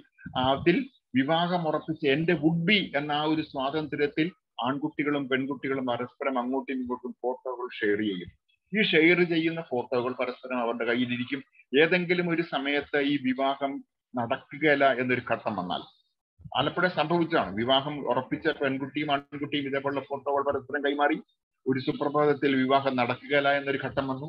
വിവാഹം നടക്കുകയില്ല എന്നൊരു ഘട്ടം വന്നു കഴിഞ്ഞപ്പോൾ ഈ ആൺകുട്ടി ചെയ്തത് ഈ പെൺകുട്ടി സ്വകാര്യമായിട്ട് ഇയാൾക്ക് അയച്ചു കൊടുത്ത വുഡ്ബിക്ക് അയച്ചു കൊടുത്ത ഫോട്ടോ ഇയാൾ നേരെ യു വാട്സാപ്പിനകത്ത് ഫേസ്ബുക്കിനകത്തേക്ക് അപ്ലോഡ് ചെയ്തു. വിവാഹം ഉറപ്പിച്ച് കല്യാണം കഴിച്ച് ഭാര്യ ഭർത്താക്കന്മാരായിട്ട് ജീവിക്കുന്ന ആൺകുട്ടിയും പെൺകുട്ടിയും ഭാര്യ ഭർത്താക്കന്മാരായിട്ട് കോഴിക്കോട് ജീവിക്കുന്നു. കോഴിക്കോട് ജീവിക്കുന്ന സമയത്ത് ഇവരുടെ സ്വകാര്യ ജീവിതങ്ങൾ അവർ വീഡിയോയിൽ റെക്കോർഡ് ചെയ്തു. ഈ ഒരു ഭാര്യയും ഭർത്താവും തമ്മിൽ അഭിപ്രായ വ്യത്യാസമുണ്ടായി. ഭാര്യ ഭർത്താവിനെ ഇട്ടച്ച് സ്വന്തം വീട്ടിൽ ചേർത്തലേക്ക് തിരിച്ചു പോന്നു. പെൺകുട്ടിയെ പല പ്രാവശ്യം വിളിച്ച് പെൺകുട്ടി ചെന്നില്ല. പെൺകുട്ടി ചെല്ലാതിരുന്നതിനകത്തുള്ള വൈരാഗ്യം തീർത്തത് ഈ അപ്ലോഡ് ഈ റെക്കോർഡ് ചെയ്ത വീഡിയോ പെൺകുട്ടിയുടെ പേര് പഠിച്ചിരുന്ന കോളേജ് ഇതെല്ലാം വച്ചിട്ട് നേരെ യൂട്യൂബിനകത്തേക്ക് അങ്ങോട്ട് അപ്ലോഡ് അപ്പൊ പോലീസിനൊക്കെ പരാതി വന്നു. പോലീസ് കേസെടുത്ത് എഫ്ഐആർ രജിസ്റ്റർ ചെയ്യുന്നു. ഭർത്താവിനെ നിസ്സാര നമ്മൾ വളരെ ഇതായിട്ട് ഇത്ര പെട്ടെന്നാണ് ഒരു തകിടം അറിയുന്ന ജീവിതം ഈ ഭർത്താവ് പെൺകുട്ടിയുടെ ഭർത്താവിനെ എതിരെ എഫ്ഐആർ രജിസ്റ്റർ ചെയ്യുന്നു. അയ്യോ അയാൾ കോഴിക്കോട് അയാളുടെ വീട് റെയ്ഡ് ചെയ്യുന്നു. വീട്ടിൽ നിന്നുള്ള സകല അയാളുടെ ലാപ്ടോപ്പും മൊബൈൽ ഉൾപ്പെടെ സീസ് ചെയ്യുന്നു. ഇയാളെ അറസ്റ്റ് ചെയ്ത് റിമാൻഡ് നേരെ ജയിലിലേക്കാണ് പോവുക. അപ്പോൾ ഇതേപോലുള്ള സംഭവങ്ങൾ ഒട്ടനവധി നമ്മുടെ മുമ്പിലുണ്ട്. അപ്പോൾ ഞാനിത് പറയാൻ കാരണം ഇപ്പോൾ ആലപ്പുഴ നടന്ന ഒരു ഒരു ഇൻസിഡന്റ് ഒറ്റ ഇൻസിഡന്റ് ഞാൻ പറയാം. കാര്യം ആലപ്പുഴ നടന്ന ഇത് ഡിജിറ്റൽ ഫുട് പ്രിന്റ് എന്ന് പറയുന്നതിനകത്ത് വിക്ടിമൈസേഷൻ എത്ര കാലം നിൽക്കും എന്നുള്ളതിന് ഒരു സിമ്പിൾ എക്സാമ്പിൾ ആണ്. കല്യാണ പ്രായപൂർത്തിയായ ഒരു പെൺകുട്ടി ഒരു പയ്യന്റെ കൂടെ ഒളിച്ചോടിപ്പോയി. രണ്ട് വർഷം കഴിഞ്ഞു ഒരു പയ്യന്റെ കൂടെ ഒളിച്ചോടിപ്പോയി ഒരു പത്ത് ദിവസം എവിടെയോ പോയി താമസിച്ചു. ഒരു കോടതി ഹാജരാക്കി. കോടതി പിടിച്ച് പോലീസ് പിടിച്ച് ഇവരെ കൊണ്ടുവന്ന് കോടതി ഹാജരാക്കി. അവസാനം ഈ പെൺകുട്ടി പറഞ്ഞു ഞാൻ ഇയാളെ വിട്ടിട്ട് ഞാൻ അച്ഛന്റെ അമ്മയുടെ കൂടെ വീട്ടിൽ പോകാന്നു പത്ത് ദിവസം ഒരാളിന്റെ കൂടെ പോയി താമസിച്ച് തിരികെ വന്ന പെൺകുട്ടി അച്ഛന്റെ അമ്മയുടെ കൂടെ വീട്ടിൽ പോന്നു. ഒരു കുഴപ്പമില്ല. രണ്ടു കൊല്ലം സുഖമായിട്ട് ആ പെൺകുട്ടി അവിടെ ജീവിച്ച് ഈ ബന്ധമൊക്കെ വിട്ട് രണ്ടു കൊല്ലം കഴിഞ്ഞ് വീട്ടുകാർ ആലോചിച്ചുറപ്പിച്ച് വേറൊരു പയ്യനെ കല്യാണം കഴിച്ചു കൊടുത്തു പെൺകുട്ടി കല്യാണം കഴിച്ച് ഭർത്താവിന്റെ വീട്ടിൽ ചെന്ന പിറ്റേ ദിവസം രാവിലെ വീട്ടുകാരും ഭർത്താവ് എണീറ്റപ്പോൾ കണ്ടത് ഈ രണ്ടു കൊല്ലം മുൻപ് ഏത് പയ്യന്റെ കൂടെയാണോ ഈ പെൺകുട്ടി പോയത്? ആ സമയത്ത് പെൺകുട്ടി അനുവദിച്ചിട്ടെടുത്ത് അവരുടെ ജീവിതത്തിന്റെ സ്വകാര്യ ചിത്രങ്ങൾ ഒരു പത്തറുപതെണ്ണം പോസ്റ്റർ അടിച്ച് നേരെ ഈ ഭർത്താവിന്റെ വീടിന്റെ മതിലേക്കൊണ്ട് കൊണ്ട് രാവിലെ വിവാഹം കഴിഞ്ഞ് തൊട്ടു പിറ്റേ ദിവസം. അപ്പൊ ഞാനിത് പറഞ്ഞു. അതുകൊണ്ടാണ് ഞാൻ ആദ്യം പറഞ്ഞത് കുറ്റകൃത്യ ഈ സൈബർ കുറ്റവാളിയാകുന്നതിനേക്കാൾ ഭീകരമായ ഒരു അവസ്ഥയാണ് വിക്റ്റിമാകുക എന്ന് പറഞ്ഞത് ആ വിക്റ്റിമൈസേഷൻ എന്ന് പറയുന്ന ഒരു പ്രോസസ് ചിലപ്പോൾ ഒരു ജീവിതം തന്നെ അതിന് പകരം കൊടുക്കേണ്ടി വരും. അപ്പോൾ നമ്മുടെ വീട്ടിലുള്ള ആൺകുട്ടികളായാലും അതിനകത്ത് ഏറ്റവും പ്രധാനം കുട്ടികൾ. സ്ത്രീകളും ടീനേജേഴ്സ് ആയിട്ടുള്ള പെൺകുട്ടികളുമാണ് സൈബർ കുറ്റകൃത്യത്തിനകത്ത് ഏറ്റവും കൂടുതൽ ഇരകളായിരിക്കുന്നത്. വിക്റ്റിം എന്ന് പറയുന്ന ഏറ്റവും കൂടുതൽ ഇരകൾ സ്ത്രീകളും ടീനേജേഴ്സ് ആയിട്ടുള്ള പെൺകുട്ടികൾ. അപ്പോൾ നമ്മൾ കുട്ടികളൊരിക്കൽ നമ്മൾ പറഞ്ഞു കൊടുക്കുന്ന ഏറ്റവും പ്രധാനപ്പെട്ട ഒരു കാര്യം ഒരു കാരണവശാലും ഇതേപോലുള്ള ഏതൊരു സാഹചര്യം അനുകൂല സാഹചര്യമായാലും പ്രതികൂല സാഹചര്യമായാലും ഞാൻ എൽ കെ ജി മുതൽ പ്രേമിക്കുന്ന ഒരാളാണ്. ഇയാളെ മാത്രം ഞാൻ കല്യാണം കഴിക്കൂ ഇങ്ങനെയൊക്കെ നിർബന്ധം പിടിച്ച് വാശിപ്പിച്ചിരിക്കുന്ന ഒരാളും സ്വകാര്യതയ്ക്ക് ഭംഗമുണ്ടാക്കുന്ന ഒരു ഫോട്ടോ എടുക്കരുത് എടുക്കരുത് എടുക്കരുത്. ഒരു കോംപ്രമൈസും ഇല്ല. ഇത് അമ്മ കുഞ്ഞുങ്ങളോട് അമ്മ പെൺകുട്ടികളോട് ഏറ്റവും അടുത്ത സുഹൃത്തിനോട് പറയുന്ന പോലെ തോളത്തെ കൈയിട്ട് അത്രയും സ്വാതന്ത്ര്യത്തോടു കൂടി പറഞ്ഞു കൊടുക്കണം. അച്ഛൻ ആൺകുട്ടികളോട് പറഞ്ഞു കൊടുക്കണം അമ്മ പെൺകുട്ടികളോടും പറഞ്ഞു കൊടുക്കണം. കാര്യം വെച്ചാൽ നമ്മളുടെ കുടുംബ കുടുംബങ്ങൾ കുടുംബങ്ങളാണ് ഇതെല്ലാം സുരക്ഷിതമായി ഉപയോഗിക്കുന്നതിനുള്ള ഏറ്റവും പ്രധാനപ്പെട്ട ഒരു തുടക്കം എന്ന് പറഞ്ഞാൽ കുടുംബത്തിൽ നിന്നാണ്. അപ്പോൾ മുൻപത്തെ പോലെയൊന്നുമല്ല. ഇപ്പൊ ആൺകുട്ടിയോട് എന്ത് പറഞ്ഞു കൊടുക്കാം പെൺകുട്ടിയോട് എന്ത് പറഞ്ഞു കൊടുക്കാന്നില്ല വളരെ ഓപ്പൺ ആയിട്ട് എല്ലാ അമ്മമാരും പെൺകുട്ടികളോട് ഇത് തന്നെ പറഞ്ഞു കൊടുക്കണം. നിന്റെ ജീവിതത്തിൽ ചിലപ്പോൾ സ്വാഭാവികമായിട്ടും പല ആൺകുട്ടിക്ക് പെൺകുട്ടിയോടെ പെൺകുട്ടിക്ക് ആൺകുട്ടിയോടെ ഇഷ്ടം തോന്നരുത്. ഇന്നത്തെ കാലഘട്ടം സമൂഹം അങ്ങനെയൊന്നുമല്ല. അവർക്ക് സ്വാഭാവികമായിട്ടും നാളെ അവർ കാണാം അവർക്ക് ഇഷ്ടപ്പെടാം അത് സംസാരിക്കാം ഫോട്ടോ തയ്യാറാവാം അങ്ങനെയുള്ള ഏതൊരു സാഹചര്യത്തിലും സ്വകാര്യത എന്ന് പറയുന്നത് അത്രയും അത്രയും പ്രൈവസി അത്രയും സൂക്ഷിപ്പോടുകൂടി നമ്മൾ ചെയ്യേണ്ട ഒരു കാര്യമാണ് എന്ന ഒരു ഓർമ്മ വെക്കണം. ഇനി അങ്ങനെ ഒരു ഫോട്ടോ എടുത്തു എന്ന് വിചാരിക്കാം. നമ്മൾ ഫോട്ടോ എടുത്ത് ഞാൻ കുട്ടികളോട് പറഞ്ഞു കൊടുക്കും നിങ്ങൾ അങ്ങനെ ഒരു ഫോട്ടോ എടുക്കാൻ തീരുമാനിച്ചാൽ അതിന്റെ കൂടെ നിങ്ങൾ താഴെ ഒരു വരി കൂടെ എഴുതി വെക്കണം. എന്ത്? എന്റെ ജീവനും ജീവിതവും ഞാൻ ഇവിടെ പണയം വയ്ക്കുന്നു. അതുകൂടെ എഴുതി വച്ചിട്ട് നിങ്ങൾ അങ്ങനത്തെ ഒരു ഫോട്ടോ എടുക്കുകയോ കൊടുക്കുകയോ ചെയ്യാവുള്ളൂ കാര്യം ഒരു ഫോട്ടോ എടുത്തു. ഞാൻ എടുത്തു എന്ന് വിചാരിക്കുക. എടുത്തു കഴിഞ്ഞപ്പോൾ എനിക്ക് തോന്നി കൊടുക്കണ്ട. കൊടുക്കും. നമ്മൾ എടുത്തു. എന്റെ ഫോൺ മൊബൈൽ ഫോണിൽ ഞാൻ എന്റെ സ്വകാര്യമായിട്ടുള്ള മുറിക്കകത്തിരുന്ന് അങ്ങനത്തെ ഒരു ഫോട്ടോ എടുത്തു. എടുത്തു കഴിഞ്ഞപ്പോൾ എനിക്കൊരു തോന്നൽ കൊടുക്കണ്ട. ഞാൻ കൊടുത്തില്ല. എന്റെ മൊബൈലിൽ നിന്ന് ഡിലീറ്റ് ചെയ്ത് കളഞ്ഞു എന്ന് വിചാരിക്കും ഒന്നോ രണ്ടോ പത്തോ ദിവസം കഴിയുമ്പോൾ എന്റെ മൊബൈൽ ഫോണിന്റെ ഡിസ്പ്ലേ പോയി അല്ലെങ്കിൽ മൊബൈൽ ഫോണിന് വർക്ക് ചെയ്യുന്നില്ല. നമ്മൾ ഏതെങ്കിലും ഒരു കടയിൽ കൊണ്ട് കൊടുത്തിട്ട് ഈ മൊബൈൽ ഫോൺ നന്നാക്കി തരാം. ആ മൊബൈൽ കടക്കാരൻ നന്നാക്കും. അവൻ ടെക്നോക്രാറ്റ് ആണ് സ്വാഭാവികമായിട്ടും നമ്മുടെ മൊബൈൽ പരിശോധിക്കും. ഇന്റർനെറ്റുമായിട്ടോ അല്ലെങ്കിൽ കമ്പ്യൂട്ടറിൽ ഡൗൺലോഡ് ചെയ്തിട്ടിരിക്കുന്ന ഫ്രീ സോഫ്റ്റ്വെയറുകളുണ്ട്. പൈസ ഒന്നും മുടക്കൊന്നുമില്ല ഡേറ്റ റിക്കവറി ടൂളുകളുണ്ട്. അതായത് മൊബൈൽ ഫോണിൽ നിന്നും ഡിലീറ്റ് ചെയ്ത സാധനങ്ങളെ തിരിച്ചെടുക്കാം. അപ്പോൾ ഞാൻ എടുത്ത ഫോട്ടോ ഞാൻ ഡിലീറ്റ് ചെയ്തെന്ന് എനിക്ക് ബോധ്യമുള്ള ഫോട്ടോ ഒരുപക്ഷെ പിറ്റേ ദിവസം നാട്ടുകാർ മൊത്തം കാണും. അതല്ല എന്നുണ്ടെങ്കിൽ ഈ ഫോട്ടോ വെച്ചിട്ട് നമ്മുടെ ജീവിതത്തിന് അവൻ വില പറയും ജീവന് വില പറയും. അപ്പോൾ അങ്ങനത്തെ ഒരു സാഹചര്യം ബോധപൂർവം ഒഴിവാക്കണമെങ്കിൽ ഒറ്റ ഒരു മാർഗമേ ഉള്ളൂ. ഇതേപോലുള്ള ഒരു സാധനങ്ങളും നമ്മളുടെ ഡിജിറ്റൽ ഡിവൈസസിൽ എടുക്കാതിരിക്കുക സൂക്ഷിക്കാതിരിക്കുക. അത് വളരെ ശ്രദ്ധയോടുകൂടി ചെയ്യേണ്ടതാണ്.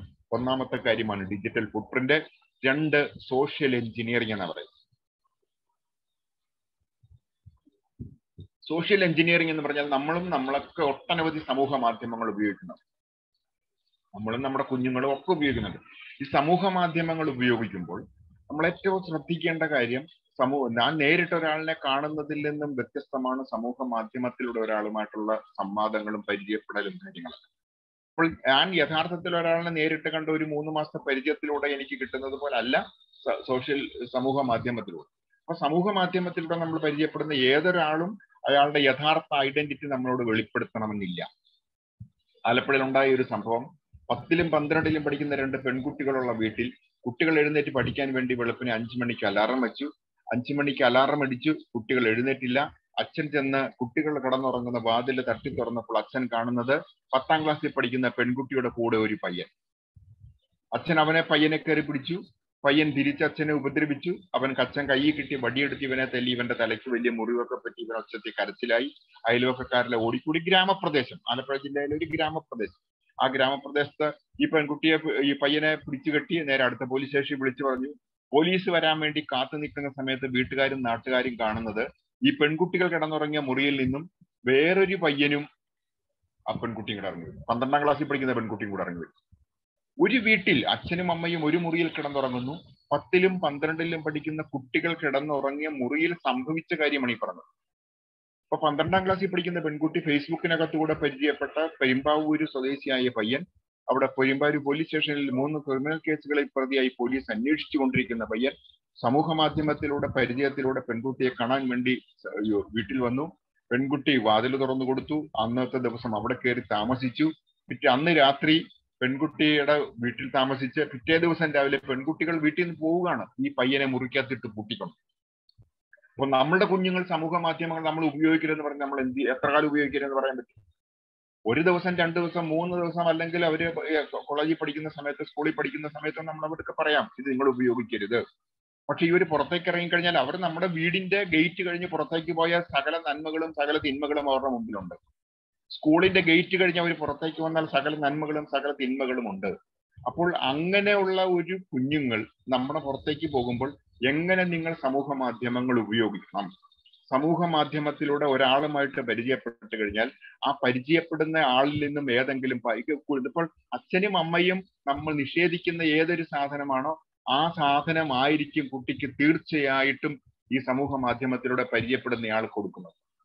അപ്പൊ അച്ഛനോടും അമ്മയോടും ചോദിച്ചു അച്ഛനോട് ചോദിച്ചിട്ട് തന്നില്ല അമ്മയോട് ചോദിച്ചിട്ടില്ല ചേട്ടനോട് ചോദിച്ചിട്ട് തന്നില്ല. പക്ഷെ ഈ സമൂഹ മാധ്യമത്തിലൂടെ പരിചയപ്പെട്ട ചേട്ടനോട് ചോദിച്ചപ്പോൾ ചേട്ടൻ അത് പ്രൊവൈഡ് ചെയ്യും അപ്പൊ എന്ത് പറ്റുമെന്ന് ചോദിച്ചാൽ അച്ഛനോടും അമ്മയോടും ഇല്ലാത്തതിനേക്കാൾ വലിയൊരു കമ്മിറ്റ്മെന്റ് ഇയാളോട് വരും അപ്പോൾ സ്വാഭാവികമായിട്ടും ഏതൊരു കാര്യത്തിനും ഇയാൾ ആവശ്യപ്പെട്ടാൽ ഇയാൾ വിളിക്കുന്നിടത്ത് ചെല്ലാനുള്ള ഒരു പ്രവണത കുട്ടി കാണിക്കും അപ്പോൾ കുഞ്ഞുങ്ങൾക്ക് സമൂഹ മാധ്യമങ്ങൾ ഉപയോഗിക്കരുതെന്ന് ഞാൻ പറയത്തില്ല. കുഞ്ഞുങ്ങൾ ഉപയോഗിക്കുമ്പോൾ അവർക്ക് കൃത്യമായിട്ട് പറഞ്ഞു കൊടുക്കണം. എന്ത്? സമൂഹ മാധ്യമത്തിലൂടെ നീ പരിചയപ്പെടുന്ന ഏതൊരാളിൽ നിന്നും ഏത് വിധത്തിലുള്ള സമ്മാനങ്ങളോ പാരിതോഷികങ്ങളോ സ്വീകരിക്കുകയോ അല്ലെങ്കിൽ അതേപോലുള്ള മറ്റേത് കാര്യമായാലും ഇയാളെ കാണാൻ പോവുകയോ ഒരു കാരണവശാലും ചെയ്യരുത്. കുട്ടികൾ ഒരു കാരണവശാലും ചെയ്യരുത്. അഥവാ അങ്ങനെ ഒരു തോന്നൽ ഉണ്ടെങ്കിൽ അങ്ങനെ ഒരു കാര്യം ഒരാൾ നമ്മളോട് ആവശ്യപ്പെട്ടാൽ ഒരു സമൂഹ മാധ്യമത്തിലൂടെ പരിചയപ്പെട്ട ഒരാൾ കുഞ്ഞിനോട് ആവശ്യപ്പെട്ടാൽ തീർച്ചയായിട്ടും ഉത്തരവാദിത്തപ്പെട്ട രക്ഷകർത്താക്കളോട് പറയണം എന്ന് കൃത്യമായിട്ടൊരു മെസ്സേജ് നമ്മൾ കുഞ്ഞുങ്ങളിലേക്ക് കൊടുക്കണം. അല്ലെങ്കിൽ എന്ത് പറ്റും ചോദിച്ചാൽ കുഞ്ഞുങ്ങൾക്ക് നമ്മൾ നിഷേധിക്കുന്ന സാധനങ്ങൾ പ്രൊവൈഡ് ചെയ്യാൻ നമ്മൾ മൊബൈൽ നമ്മളോട് മൊബൈൽ മേടിച്ചു കൊടുക്കാൻ പറഞ്ഞു നമ്മൾ മൊബൈൽ മേടിച്ചു കൊടുക്കുന്നില്ലെങ്കിൽ കുഞ്ഞിന് മൊബൈൽ മേടിച്ചു കൊടുക്കാൻ വേറെ നൂറ് പേര് നാട്ടുകാരുണ്ടാവും. നാട്ടുകാർ നൂറ് പേര് കുഞ്ഞുങ്ങൾക്ക് മൊബൈൽ മേടിച്ചു കൊടുക്കും. അപ്പോൾ അങ്ങനെ മൊബൈൽ മേടിച്ചു കൊടുക്കുമ്പോൾ സ്വാഭാവികമായിട്ടും വീട്ടുകാർ കൊടുക്കാത്ത ഒരു സാധനം മറ്റ് ഒരാൾ പ്രൊവൈഡ് ചെയ്യുമ്പോൾ അവരോടൊരു സിമ്പതി അല്ലെങ്കിൽ അതേപോലുള്ള ഒരു അനുകമ്പ അല്ലെങ്കിൽ ഒരു വിശ്വാസം ഈ സാധനം മതി അതൊരു നാല് സ്റ്റേജാണ് select the victim research the victim develop the relationship and exploit the relationship ആണ്. വിക്ടിമിനെ ആദ്യം സെലക്ട് ചെയ്യും. ഇയാളെ കുറിച്ച് ഒന്ന് പഠിക്കും. ഇയാൾക്ക് ആവശ്യം എന്താണ്? പൈസ ആണെങ്കിൽ പൈസ കൊടുക്കും. മൊബൈലാണെങ്കിൽ മൊബൈൽ കൊടുക്കും. യാത്ര പോകാനാണെങ്കിൽ യാത്ര കൊണ്ടുപോകും. വസ്ത്രങ്ങളാണെങ്കിൽ വസ്ത്രങ്ങൾ മേടിച്ചു കൊടുക്കും. അങ്ങനെ ഡെവലപ്പ് ദ റിലേഷൻഷിപ്പ് ഈ സാധനങ്ങളെല്ലാം കൊടുക്കുന്നതിലൂടെ റിലേഷൻഷിപ്പ് ഡെവലപ്പ് ആകും. അതിനുശേഷമായിരിക്കും ചിന്തിക്കാൻ പോലും പറ്റാത്ത ഒരു ചതിക്കുഴി അപ്പോൾ ഒന്നാമത്തത് ഡിജിറ്റൽ ഫുട് പ്രിന്റ് ആണ്. രണ്ട് സോഷ്യൽ എഞ്ചിനീയറിംഗ് ആണ്. മൂന്ന് ഇന്റർനെറ്റ് അനലിറ്റിക്സ് അതാണ് അതായത് ഇന്റർനെറ്റ് മേഖലയിൽ നമ്മൾ ചെയ്യുന്ന സകല കാര്യങ്ങളും രണ്ട് വിധത്തിൽ അനലൈസ് ചെയ്യപ്പെടുന്നു. അത് നമ്മൾ ചെയ്ത കാര്യങ്ങൾ നമ്മൾ ചെയ്തുകൊണ്ടിരിക്കുന്ന കാര്യങ്ങൾ നമ്മൾ കാണുന്ന ചെയ്യുന്നതോടൊപ്പം സിസ്റ്റം സ്വയം അനലൈസ് ചെയ്യും. ഇപ്പൊ യൂട്യൂബിനകത്തേക്ക് നമ്മൾ കയറി ഏതെങ്കിലും സാധനം സെർച്ച് ചെയ്തിട്ട് നമ്മൾ പുറത്തിറങ്ങി കഴിഞ്ഞ് വീണ്ടും യൂട്യൂബ് എടുക്കുമ്പോൾ കാണാം നമ്മൾ എന്താണോ സെർച്ച് ചെയ്തത് അതുമായി ബന്ധപ്പെട്ട കാര്യങ്ങൾ അവിടെ നോട്ടിഫിക്കേഷൻ തന്നെ കാണാം അല്ല പിന്നെ അത് അതേപോലെ തന്നെയാണ് നമ്മൾ ഇന്റർനെറ്റിലൂടെ ലോകവുമായി പങ്കുവയ്ക്കുന്ന വിവരങ്ങൾ നമ്മൾ വളരെ ലാഘവത്തോടു കൂടിയാണ് പങ്കുവയ്ക്കുന്നത്. പക്ഷേ ഇത് വേറെ പലർക്കും വാല്യബിൾ ഇൻഫർമേഷൻ ആണ്. ഞാനൊരു സിമ്പിൾ എക്സാമ്പിൾ ഒരു റെസിഡൻഷ്യൽ ഏരിയ ഏതെങ്കിലും ഒരു സ്ഥലത്ത് ഇപ്പം എല്ലായിടത്തും റെസിഡൻഷ്യൽ അസോസിയേഷൻ ഉണ്ട്. ഏതെങ്കിലും പ്രത്യേക റെസിഡൻഷ്യൽ അസോസിയേഷനിൽപ്പെട്ട ഒരു പത്തോ ഇരുപതോ വീട്ടുകാർ അവരെല്ലാവരും കൂടെ ഒരു വല്ല നല്ലൊരു കൂട്ടായ്മയാണ്. ആ ഇരുപത് വീട്ടുകാരും കൂടെ ഒരുമിച്ച് കൂടി ശരി നമുക്ക് ഒരുമിച്ച് ഒരു ട്രിപ്പ് പോയേക്കാം. ഒരു തിരുപ്പതി അല്ലെങ്കിൽ കാശി അല്ലെങ്കിൽ രാമേശ്വരം മറ്റേതെങ്കിലും സ്ഥലത്തേക്ക് ഈ ഇരുപത് വീട്ടുകാരും കൂടെ നേരെ ഇവിടുന്ന് രാമേശ്വരത്തേക്ക് ഒരു ട്രിപ്പ് പോവുകയാണ്. രണ്ടോ മൂന്നോ രണ്ട് ബസ് പിടിച്ചു പോകും. നേരെ രാമേശ്വരത്തിൽ ചെല്ലുന്നു രാമേശ്വരത്തിൽ ചെല്ലുന്നു നമ്മൾ ഫോട്ടോ എടുക്കുന്നു അല്ലെങ്കിൽ സെൽഫി എടുക്കുന്നു. ഈ സാധനം എടുത്തിട്ട് നമ്മൾ സെൽഫി എടുത്താൽ ഈ ഗ്രൂപ്പിനകത്ത് ആരെങ്കിലും ഒക്കെ സമൂഹ മാധ്യമത്തിലൂടെ ഇത് അപ്ലോഡ് ചെയ്യും. ഒന്നെങ്കിൽ ഇൻസ്റ്റാഗ്രാമിൽ അപ്ലോഡ് ചെയ്യും അല്ല ഫേസ്ബുക്കിനകത്ത് വാട്സ്ആപ്പ് അപ്ലോഡ് ചെയ്യും അല്ലെങ്കിൽ വാട്സാപ്പിന്റെ സ്റ്റാറ്റസ് മാറ്റും. ഞങ്ങൾ ഇരുപത് ഫാമിലി വെക്കേഷൻ ആഘോഷിക്കാൻ രാമേശ്വരത്ത്. ഈ ഇരുപത് വീടിന്റെ തൊട്ടടുത്തുള്ള ഏതെങ്കിലും ഒരു വീട്ടിൽ ഒരു കള്ളനാണ് ഈ വാട്സാപ്പിൽ നമ്മുടെ സ്റ്റാറ്റസ് കാണുന്നതെന്ന് വിചാരിച്ചാൽ നമ്മൾ മാത്രമേ ഈ സാധനം ഉപയോഗിക്കുന്നുള്ളൂ എന്ന് നമ്മൾ ചിന്തിക്കണ്ട. സമൂഹത്തിലുള്ള എല്ലാ കുറ്റവാളികളും എല്ലാ ക്രിമിനലുകളും എല്ലാ അസാൻമാർഗ നടപടികൾ നടത്തുന്നവരും ഈ സമൂഹ മാധ്യമങ്ങൾ ഉപയോഗിക്കുന്നുണ്ട്. അപ്പോൾ ഇന്റർനെറ്റിനകത്തുകൂടെ നമ്മൾ ഈ ലോകവുമായി പങ്കുവയ്ക്കുന്ന വിവരങ്ങൾ നമ്മൾക്ക് വളരെ ലാഘവ ബുദ്ധിയോടുകൂടി നമ്മൾ കൈകാര്യം ചെയ്യുന്നതായിരിക്കാം. പക്ഷെ അത് വേറെ പലർക്കും വാല്യുബിൾ ആയിട്ടുള്ള ഇൻഫർമേഷൻ ആണ് എന്ന് എപ്പോഴും ഓർമ്മ അപ്പൊ നമ്മൾ എന്ത് ചെയ്യണം? ഒരു ഫോട്ടോ അപ്ലോഡ് ചെയ്യുന്നതിന് മുൻപ് നമ്മളെക്കുറിച്ചുള്ള ഒരു സ്വകാര്യമായിട്ടുള്ള ഒരു ഇൻഫർമേഷൻ അപ്ലോഡ് ചെയ്യുന്നതിന് മുൻപ് നമ്മൾ പുറത്തോട്ട് ചിന്തി നിന്ന് ചിന്തിക്കണം. ഈ ഫോട്ടോ അപ്ലോഡ് ചെയ്താൽ എന്നെക്കുറിച്ച് എന്തായിരിക്കും ഇവർ ചിന്തിക്കാൻ സാധ്യതയുള്ളത്? നമ്മളുടെ പുറകെ വാച്ച് ചെയ്യാൻ ആരെയും പറഞ്ഞു വരേണ്ട കാര്യമില്ല. വാട്സാപ്പിനകത്ത് കൃത്യമായിട്ട് സ്റ്റാറ്റസ് മാറ്റി കൊടുത്തുകൊണ്ടിരിക്കുന്ന ഒരു വ്യക്തിയാണെങ്കിൽ ഇവന്റെ വാട്സാപ്പിന്റെ സ്റ്റാറ്റസ് മാത്രം വാച്ച് ചെയ്താൽ മതി. ഇവന്റെ ഡെയിലി ആക്ടിവിറ്റികൾ കൃത്യമായിട്ട് മനസ്സിലാക്കാൻ അപ്പോൾ internet number one digital footprint number two social engineering number three internet analytics number four internet addiction disorder അഥവാ ഐ എ ഡി എന്ന് പറയുന്നത് ഇന്റർനെറ്റ് അഡിക്ഷൻ അതായത് അനിയന്ത്രിതമായിട്ടുള്ള ഇന്റർനെറ്റിന്റെ ഉപയോഗത്തിലൂടെ കുട്ടികളിലും മുതിർന്നവരിലും ഉണ്ടാകുന്ന ഒരു വലിയൊരു അപകടമാണ് ഇന്റർനെറ്റ് അഡിക്ഷൻ ഡിസോർഡർ അഥവാ പ്രോബ്ലമാറ്റിക് ഇന്റർനെറ്റ് യൂസർ അല്ലെങ്കിൽ കമ്പൽസീവ് ഇന്റർനെറ്റ് യൂസർ അത് പല വിധത്തിലാണ് സംഭവിക്കുന്നത്. ഒട്ട പല കാരണങ്ങൾ അതിനകത്ത് നൂറ് നൂറ് കാര്യങ്ങൾ നമുക്ക് പറയാനുണ്ട്. പക്ഷെ ഏറ്റവും പ്രധാനപ്പെട്ട കാര്യം ഈ ഇന്റർനെറ്റ് അഡിക്ഷൻ ഉണ്ടാകുന്ന പല കാര്യങ്ങൾ. ഇന്റർനെറ്റ് അഡിക്ഷൻ ഉണ്ടാകുന്നതിന് പല പല കാരണങ്ങളുണ്ട്. എങ്കിൽ ഇന്റർനെറ്റ് അഡിക്ഷനിലേക്ക് പോകാനുള്ള പല കാര്യങ്ങൾ. ഒന്നാമത്തെ കാര്യം അവർ പറയുന്നത് ഫോണോഗ്രാഫി കൺസംഷൻ എന്നാണ്. കുട്ടികളിൽ അല്ലെങ്കിൽ കൗമാരക്കാരിൽ കണ്ടുവരുന്ന ഏറ്റവും വലിയൊരു അപകടകരമായ ഒരു കാര്യമാണ് ഇതേപോലുള്ള അബ്യൂസീവ് കണ്ടന്റ് ആയിട്ടുള്ള ഫോട്ടോസും വീഡിയോസും കാണുന്നതിനുള്ള പ്രവണത. ഒരിക്കൽ കണ്ട് ഇപ്പോൾ ഞാൻ നേരത്തെ പറഞ്ഞതുപോലെയാണ്. നമ്മളൊരു ഡിജിറ്റൽ ഡിവൈസസ് ഉപയോഗിക്കുന്ന ഏതൊരു വ്യക്തിയും അത് ആൺകുട്ടിയായാലും പെൺകുട്ടിയായാലും അമ്മയായാലും അച്ഛനായാലും ആരായാലും കൃത്യമായിട്ട് അറിഞ്ഞിരിക്കണം ഏത് നിമിഷവും നമ്മുടെ ഫോണിനകത്തേക്ക് ഇതേപോലുള്ള ചിത്രമോ വീഡിയോയോ വരാൻ സാധ്യതയുണ്ട്. കാര്യം നമ്മൾ യൂട്യൂബിൽ കയറി നമ്മൾ സെർച്ച് ചെയ്യുമ്പോൾ നമ്മുടെ വിരലൊന്നും മാറി ടൈപ്പ് ചെയ്താൽ മതി. ചിലപ്പോൾ ഇതേപോലുള്ള അബ്യൂസീവ് കണ്ടന്റ് ഒരു വീഡിയോ ആയിരിക്കും. അല്ലെങ്കിൽ ഒരു ചിത്രമായിരിക്കും. അല്ലെങ്കിൽ ബോധപൂർവം ആരെങ്കിലും നമുക്ക് അയച്ചു തരുന്നതായിരിക്കും. അപ്പൊ കുട്ടികളുടെ കയ്യിലേക്കാണ് ഇതുപോലെ ചിത്രം. ഇത് നേരത്തെ ഞാൻ ഏഴാം ക്ലാസ്സിലെ കുട്ടിയുടെ കാര്യം പറഞ്ഞ പോലെ. അപ്പോൾ പർപ്പസ്ഫുള്ളി ചെയ്യുന്നതാണെങ്കിൽ അല്ലെങ്കിൽ യാദൃശ്ചിക പശ്ചാത്തലം അപ്പൊ അങ്ങനെ ഒരു സാധനം. അപ്പൊ കുട്ടികളോട് പറഞ്ഞു കൊടുക്കണ്ടേ നീ ഡിജിറ്റൽ ഡിവൈസസ് ഉപയോഗിക്കുമ്പോൾ ഇതേപോലുള്ള ചിത്രങ്ങളോ വീഡിയോകളോ നിന്റെ ഫോണിനകത്തേക്ക് വരാൻ സാധ്യതയുണ്ട്. അങ്ങനെ വരുന്ന സാധനങ്ങൾ ഇപ്പൊ ലിങ്ക് ഒരു ചിത്രം വന്നു. ഓപ്പൺ ചെയ്തു. കണ്ടു. എന്ത് ചെയ്യും? ഒന്നും സംഭവിക്കാനില്ല. ഇപ്പൊ നേരത്തെ ഏഴാം ക്ലാസ്സിൽ പഠിക്കുന്ന കുട്ടി കണ്ടു എന്ന് പറഞ്ഞ പോലെ. അപ്പോൾ ഇതേപോലെ അല്ലെങ്കിൽ ഒരു വീഡിയോ വന്നു. ഓപ്പൺ ചെയ്തു. കുട്ടി അതിരുന്ന് കണ്ടു. ഒന്നും സംഭവിക്കാനില്ല. പക്ഷെ അങ്ങനെ കണ്ട സാധനം വീണ്ടും വീണ്ടും കാണണമെന്ന ഒരു പ്രവണതയിലേക്ക് പോയാൽ അത് അഡിക്ഷൻ ആയിട്ട് മാറും. അഡിക്ഷൻ ആയിട്ട് മാറും. അത് ചിന്തിക്കുക അത് പോണോഗ്രാഫി കൺസംഷൻ ആണ് ഏറ്റവും കാര്യം. ഇത് നമ്മൾ പറയുന്നതല്ല. ഇതിനെക്കുറിച്ച് റിസർച്ച് നടത്തിയിരിക്കുന്ന കേംബ്രിഡ്ജ് യൂണിവേഴ്സിറ്റിയിലെ neuro psychiatrist doctor Valerie Voon അദ്ദേഹം പറഞ്ഞത് pornography is a new drug എന്നാണ്. അതായത് ഹെറോയിൻ എന്ന് പറയുന്ന മാരകമായ മയക്കുമരുന്ന് കൺസ്യൂം ചെയ്യുമ്പോൾ നമ്മുടെ ശരീരത്തിൽ ഉണ്ടാകുന്ന ഒരു കെമിക്കൽ റിയാക്ഷൻ എന്താണോ ആ സെയിം കെമിക്കൽ റിയാക്ഷൻ ആണ് ഈ സാധനം ഉപയോഗിക്കുമ്പോൾ കാണുമ്പോൾ ശരീരത്തിൽ ഉണ്ടാകുന്നത് കുട്ടികളാണെങ്കിൽ കുട്ടികളുടെ കാഴ്ചപ്പാടുകൾ മാറും ചിന്താഗതികൾ മാറും സംസ്കാരം മാറും. നമ്മുടെ ശരീരത്തിന്റെ മെറ്റാബോളിസം മാത്രം മൊത്തം മാറുകയാണ്. മെറ്റാബോളിസം മൊത്തം മാറുകയാണ്. നമുക്ക് ഒരു നൂറ് കേസുകൾ നമുക്ക് പറയാനുണ്ടാവും. നൂറ് കേസുകൾ പറയാനുണ്ട് പോലീസിന്. ഈ- കുട്ടികൾ ഇതേപോലുള്ള ചിത്രങ്ങളും വീഡിയോകളും കണ്ടതിന്റെ പ്രതിഫലനമായിട്ട് അവരുടെ കുറ്റ കുട്ടി ആൺകുട്ടികളാണെങ്കിൽ കുറ്റകൃത്യം ചെയ്യാനുള്ള ഒരു മെൻസ് അവരിൽ ഫോം ചെയ്യുമെന്ന്. പെൺകുട്ടികളാണെങ്കിൽ കുറ്റകൃത്യത്തിന് വിധേയപ്പെടാനുള്ള ഒരു മാനസികാവസ്ഥയും ഉണ്ടാവും. അപ്പോൾ ഈ ഇന്റർനെറ്റ് അഡിക്ഷൻ ഡിസോർഡർ അഥവാ കുട്ടി ഇപ്പം കുട്ടികളിൽ കണ്ടുവരുന്ന മറ്റേറ്റവും പ്രധാനപ്പെട്ട ഒരു കാര്യമാണ് വയലന്റ് വീഡിയോസ് അതായത് രണ്ട് കയ്യിലും തോക്കുമായിട്ട് വെടി കാർ കൊണ്ട് ഇടിപ്പിക്കുക മോട്ടോർ സൈക്കിൾ തലകുത്തി മറിച്ച് ഇതേപോലുള്ള ഗെയിമുകൾ. അവർ പറയുന്നത് violent video games can be as addictive as drugs there is a correlation between violent game use and aggressive behaviour കുട്ടികളിൽ കാണുന്ന അഗ്രസീവ് ബിഹേവിയറിന്റെ അടിസ്ഥാനപരമായ കാരണം എന്താണ് എന്നതിനെ കുറിച്ച് പരിശോധിച്ചപ്പോൾ കാണുന്നത് ഈ ആക്രമണോത്സുകമായിട്ടുള്ള വീഡിയോ ഗെയിമുകൾ ആവർത്തിച്ച് ആവർത്തിച്ച് കുട്ടികൾ കാണുന്നതിലൂടെയും ചെയ്യുന്നതിലൂടെയും അവരിൽ ഒരു അഗ്രസീവ് ബിഹേവിയർ രൂപപ്പെടും.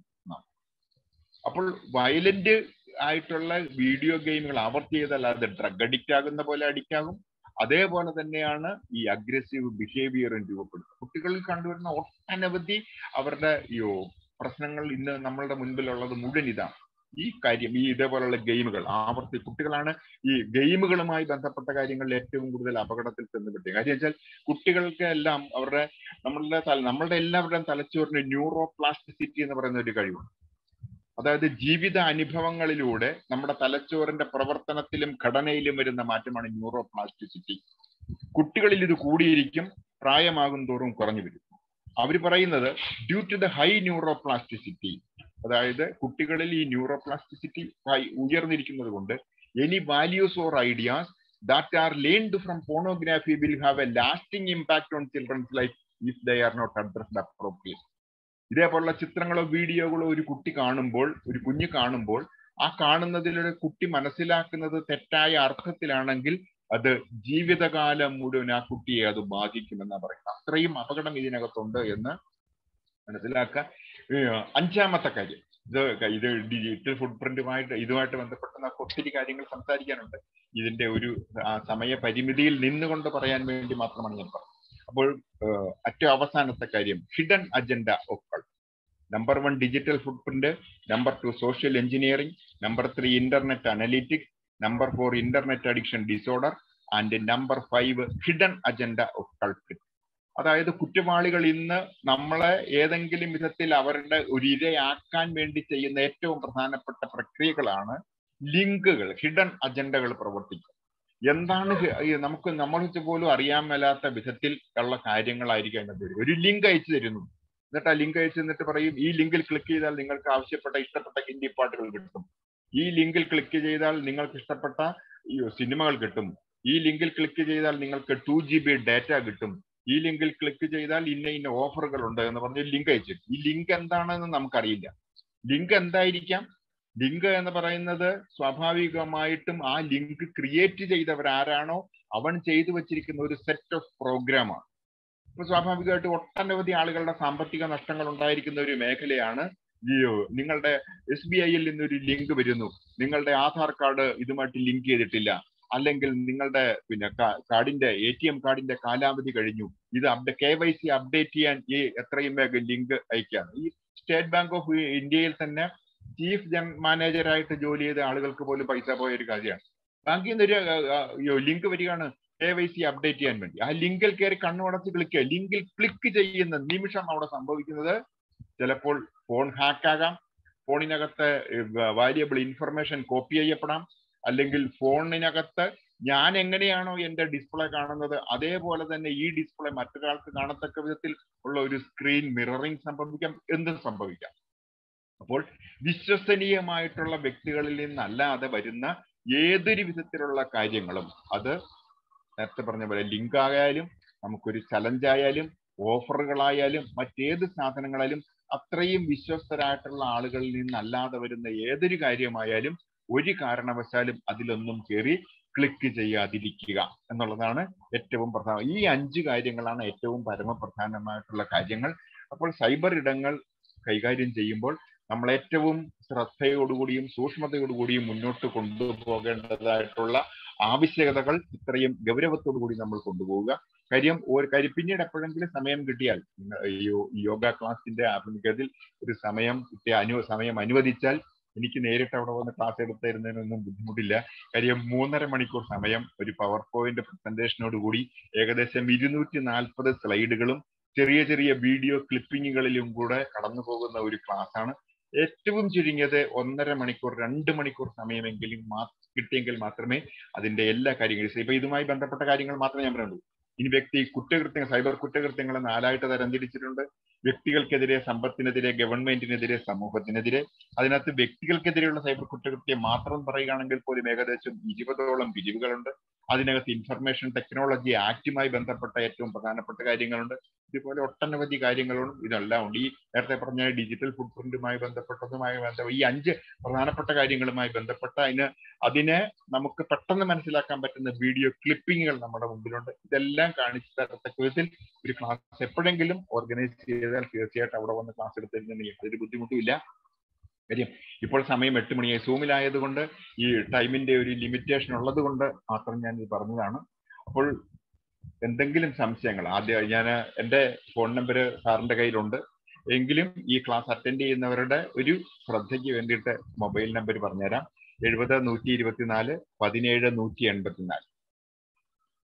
Seven zero one two four one seven one eight four seven zero one two four one seven one eight four ഇപ്പോൾ അയ്യോ ഞാൻ സർവീസിൽ നിന്ന് കഴിഞ്ഞ മെയ് മുപ്പത്തൊന്നാം തീയതി സർവീസിൽ നിന്ന് റിട്ടയർ ചെയ്തയാളാണ്.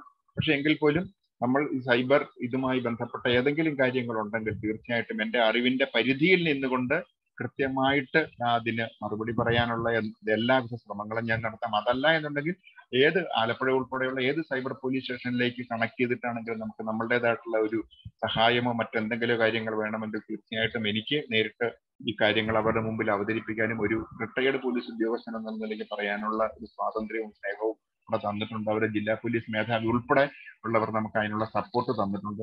അപ്പൊ അതുകൊണ്ട് ഏതൊരാവശ്യത്തിനും ഏതൊരു കാര്യത്തിനും ഏത് കാര്യം എന്റെ മൊബൈൽ ഞാൻ ഒരിക്കലും ഓഫ് ചെയ്യത്തില്ല. ഏതെങ്കിലും ചാർജ് തീർന്ന് ചിലപ്പോൾ ഓഫായി പോകാം. അല്ലെങ്കിൽ ചിലപ്പോൾ ക്ലാസ്സിൽ എന്തെങ്കിലും ആണെന്നുണ്ടെങ്കിൽ നമ്മൾ അറ്റൻഡ് ചെയ്തില്ലായിരിക്കും പക്ഷേ മിസ് കോൾ കണ്ടാൽ തീർച്ചയായിട്ടും ഞാൻ അതിനകത്തേക്ക് തിരിച്ചു വിളിച്ചിരിക്കും. ഏത് സമയത്തായാലും തിരിച്ചു വിളിച്ചിരിക്കും. ഏതെങ്കിലും സമയത്ത് ഇതേപോലെ ഒരു ക്ലാസ്സിന് നിങ്ങൾ അനുവദിച്ചാൽ നിങ്ങൾക്ക് അവിടെ നമ്മളെ കുടുംബാംഗങ്ങളെ എല്ലാം കാര്യം ഇത് ഇപ്പൊ ക്ലാസ് എന്നെ സംബന്ധിച്ചിടത്തോളം ഞാൻ ഈ ക്ലാസ്സുകൾ എടുക്കുമ്പോൾ എന്റെ ഏറ്റവും പരമപ്രധാനമായ കാര്യം കുഞ്ഞുങ്ങളിലേക്ക് ഈ വിഷയം എത്തിക്കുക എന്നുള്ളതാണ്. കാര്യം നമ്മുടെ കുഞ്ഞുങ്ങളിൽ ഒരു അവരിൽ ഒരു സംസ്കാരം രൂപപ്പെടണം. അത് അത്യാവശ്യമാണ്. കാര്യം അവർ ഈ സൈബർ ഇടങ്ങൾ കാര്യം നമ്മളുടെ ആയിരം ഇരട്ടി ബുദ്ധിയുള്ള കുഞ്ഞുങ്ങളാണ്. അപ്പൊ ആ കുഞ്ഞുങ്ങൾ സൈബർ ഇടങ്ങൾ കൈകാര്യം ചെയ്യുമ്പോൾ അവർ ലോകത്തിന് മാതൃകയായിട്ടുള്ള കുഞ്ഞുങ്ങളായിട്ട് വളരണമെങ്കിൽ സൈബർ അല്ലെങ്കിൽ ഈ ഇൻഫർമേഷൻ ടെക്നോളജി അവർ മാക്സിമം യൂട്ടിലൈസ് ചെയ്യണം. അവരെ യൂട്ടിലൈസ് ചെയ്യണം. ആ യൂട്ടിലൈസ് ചെയ്യുന്നത് നല്ല കാര്യങ്ങൾക്ക് വേണ്ടി മാത്രമായിട്ട് യൂട്ടിലൈസ് ചെയ്യാനുള്ള ഒരു അറിവ് അവരിലേക്ക് പകർന്നു കൊടുത്തുകൊണ്ട് കുഞ്ഞുങ്ങളെ കൊണ്ടുപോകാൻ പറ്റണം. കുഞ്ഞുങ്ങളെ ഉൾപ്പെടുത്തിക്കൊണ്ട് മറ്റൊരു ക്ലാസ് പിന്നീട് എപ്പോഴെങ്കിലും ചെയ്താൽ വളരെ സന്തോഷം. ഏതായാലും ഇങ്ങനെ ഈ ഒരു സുപ്രഭ ഞായറാഴ്ചയിൽ ഇങ്ങനെ ഒരു സമയത്ത് ഈ ഒരു ക്ലാസ് എടുക്കുവാൻ എനിക്ക് അവസരം തന്ന ഇതിന്റെ ഏറ്റവും ആദരണീയരായ ഏറ്റവും എനിക്ക് വാസുദേവൻ ചേട്ടനൊക്കെ വെച്ചാൽ അവിടെ മാന്നാർ വന്ന് അവിടെ അവിടെ ക്ലാസ് എടുത്തതാണെന്ന് എനിക്ക് തോന്നുന്നു. എനിക്ക് അന്നത്തെ ഒന്നും കാര്യം വർഷങ്ങൾക്ക് മുൻപ് നടന്ന ക്ലാസ്സുകളാണ്. എങ്കിലും ഓർക്കുന്നില്ല. പക്ഷെ എങ്കിൽ പോലും ആ ഒരു സൗഹൃദത്തിന്റെയോ അല്ലെങ്കിൽ ആ ഒരു സ്നേഹത്തിന്റെയോ ആ ക്ലാസിന്റെയോ മഹിമയും മഹത്വവും മനസ്സിലാക്കിക്കൊണ്ട് ഇങ്ങനെ ഒരു ക്ലാസ്സിന് വേണ്ടിയിട്ട് എന്നെ വിളിച്ച് ഞാൻ എനിക്ക് ശരീരത്തിന് ഒരു അസ്വസ്ഥ ആയതുകൊണ്ടാണ് രണ്ടാഴ്ച മുമ്പ് ക്ലാസ്സിൽ വരാമെന്ന് പറഞ്ഞിട്ടും വരാൻ പറ്റാതെ പോയത്. അപ്പൊ തീർച്ചയായിട്ടും വളരെ സന്തോഷം ഇങ്ങനെ ഒരു ക്ലാസ് എടുക്കുവാൻ അവസരം തന്ന ഇതിന്റെ ഏറ്റവും ആദരണീയരായ സംഘാടകരോട് ഇതിന്റെ പ്രവർത്തകരോട് ഇതിന്റെ മുൻനിരയിൽ നിന്ന് ഈ ക്ലാസ്സിന് വേണ്ടി പ്രവർത്തിച്ചവരോട് ഇത്രയും നേരം ക്ലാസ് ശ്രമിച്ചവരോട് എന്റെ വ്യക്തിപരമായ പേരിൽ എല്ലാവിധ പ്രണാമങ്ങളും. നന്ദി നമസ്കാരം. ഹരി ഓം ഹരി ഹരി ഓം അപ്പൊ ഇത്രയും നേരം നമുക്ക് വേണ്ടി വളരെ പ്രധാനപ്പെട്ട ഒരു വിഷയത്തെ പറ്റി വളരെ ചുരുക്കം സമയത്തിൽ നമുക്ക് പറഞ്ഞു തന്നു. പല പുതിയ പുതിയ കാര്യങ്ങളും ഇതിന്റെ ഗ്രാവിറ്റി ഇത് എത്ര സിവിയർ ആണെന്നുള്ള കാര്യങ്ങൾ ശരിക്കും ഓൺ ഗ്രൗണ്ട് കണ്ട ആളിന് എത്തുന്ന ഇത് കേൾക്കുമ്പോൾ നമുക്കിത് എത്ര പേര് പറഞ്ഞാലും എത്ര ഫോർവേഡ്സ് നമ്മൾ വാട്സപ്പിൽ വന്നാലും അതൊക്കെ നമ്മൾ വായിച്ചങ്ങ് വിടും. ആ ഇത് നമുക്കൊന്നും പറ്റത്തില്ല എന്നുള്ളൊരു വിശ്വാസത്തിൽ നമ്മൾ അത് വായിച്ചു വിടും. പക്ഷെ ഇത് സത്യത്തിലും കണ്ട് അറിഞ്ഞ ഒരു വ്യക്തി എടുത്തുനിന്ന് ഇത്രയും കാര്യങ്ങൾ മനസ്സിലാക്കിയത് നമ്മുടെ എല്ലാ കുടുംബങ്ങൾക്കും വളരെ പ്രധാനമാണ്. ഇതേപോലെ വസന്ത ശിബിരം നമ്മൾ നടത്തുന്നുണ്ട് കൊച്ചു പിള്ളേർക്ക് വേണ്ടി. അപ്പോ സാറിനെ നമുക്ക് ക്ഷണി ക്ഷണിക്കാം. അതേപോലെ നമുക്ക് ഇനിയും സമയമുണ്ടെങ്കിൽ ഇത്രയും നല്ലൊരു ഇമ്പോർട്ടന്റ് വിഷയം പിന്നെയും ആവർത്തിച്ച് കേൾക്കണം എന്നാണ് എന്റെ തോന്നൽ ആറ് മാസം ഇരിക്കുമ്പോൾ ഇടയ്ക്കിടയ്ക്ക് കേട്ടോണ്ടിരിക്കണം. ഇല്ലെങ്കിൽ ഇത് മറന്നു പോകും. നമ്മുടെ സമിതിയുടെ പേരിലും ഇവിടെ ഉള്ളവരുടെ ഓരോരുത്തരുടെ പേരിലും എന്റെ പേരിലും സാറിന് നന്ദി അറിയിക്കുന്നു. വീണ്ടും കാണാം.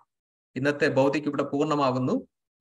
അടുത്ത ഞായറാഴ്ച വീണ്ടും പുതിയ ഭൗതിക്കിൽ കാണാം. ഓം.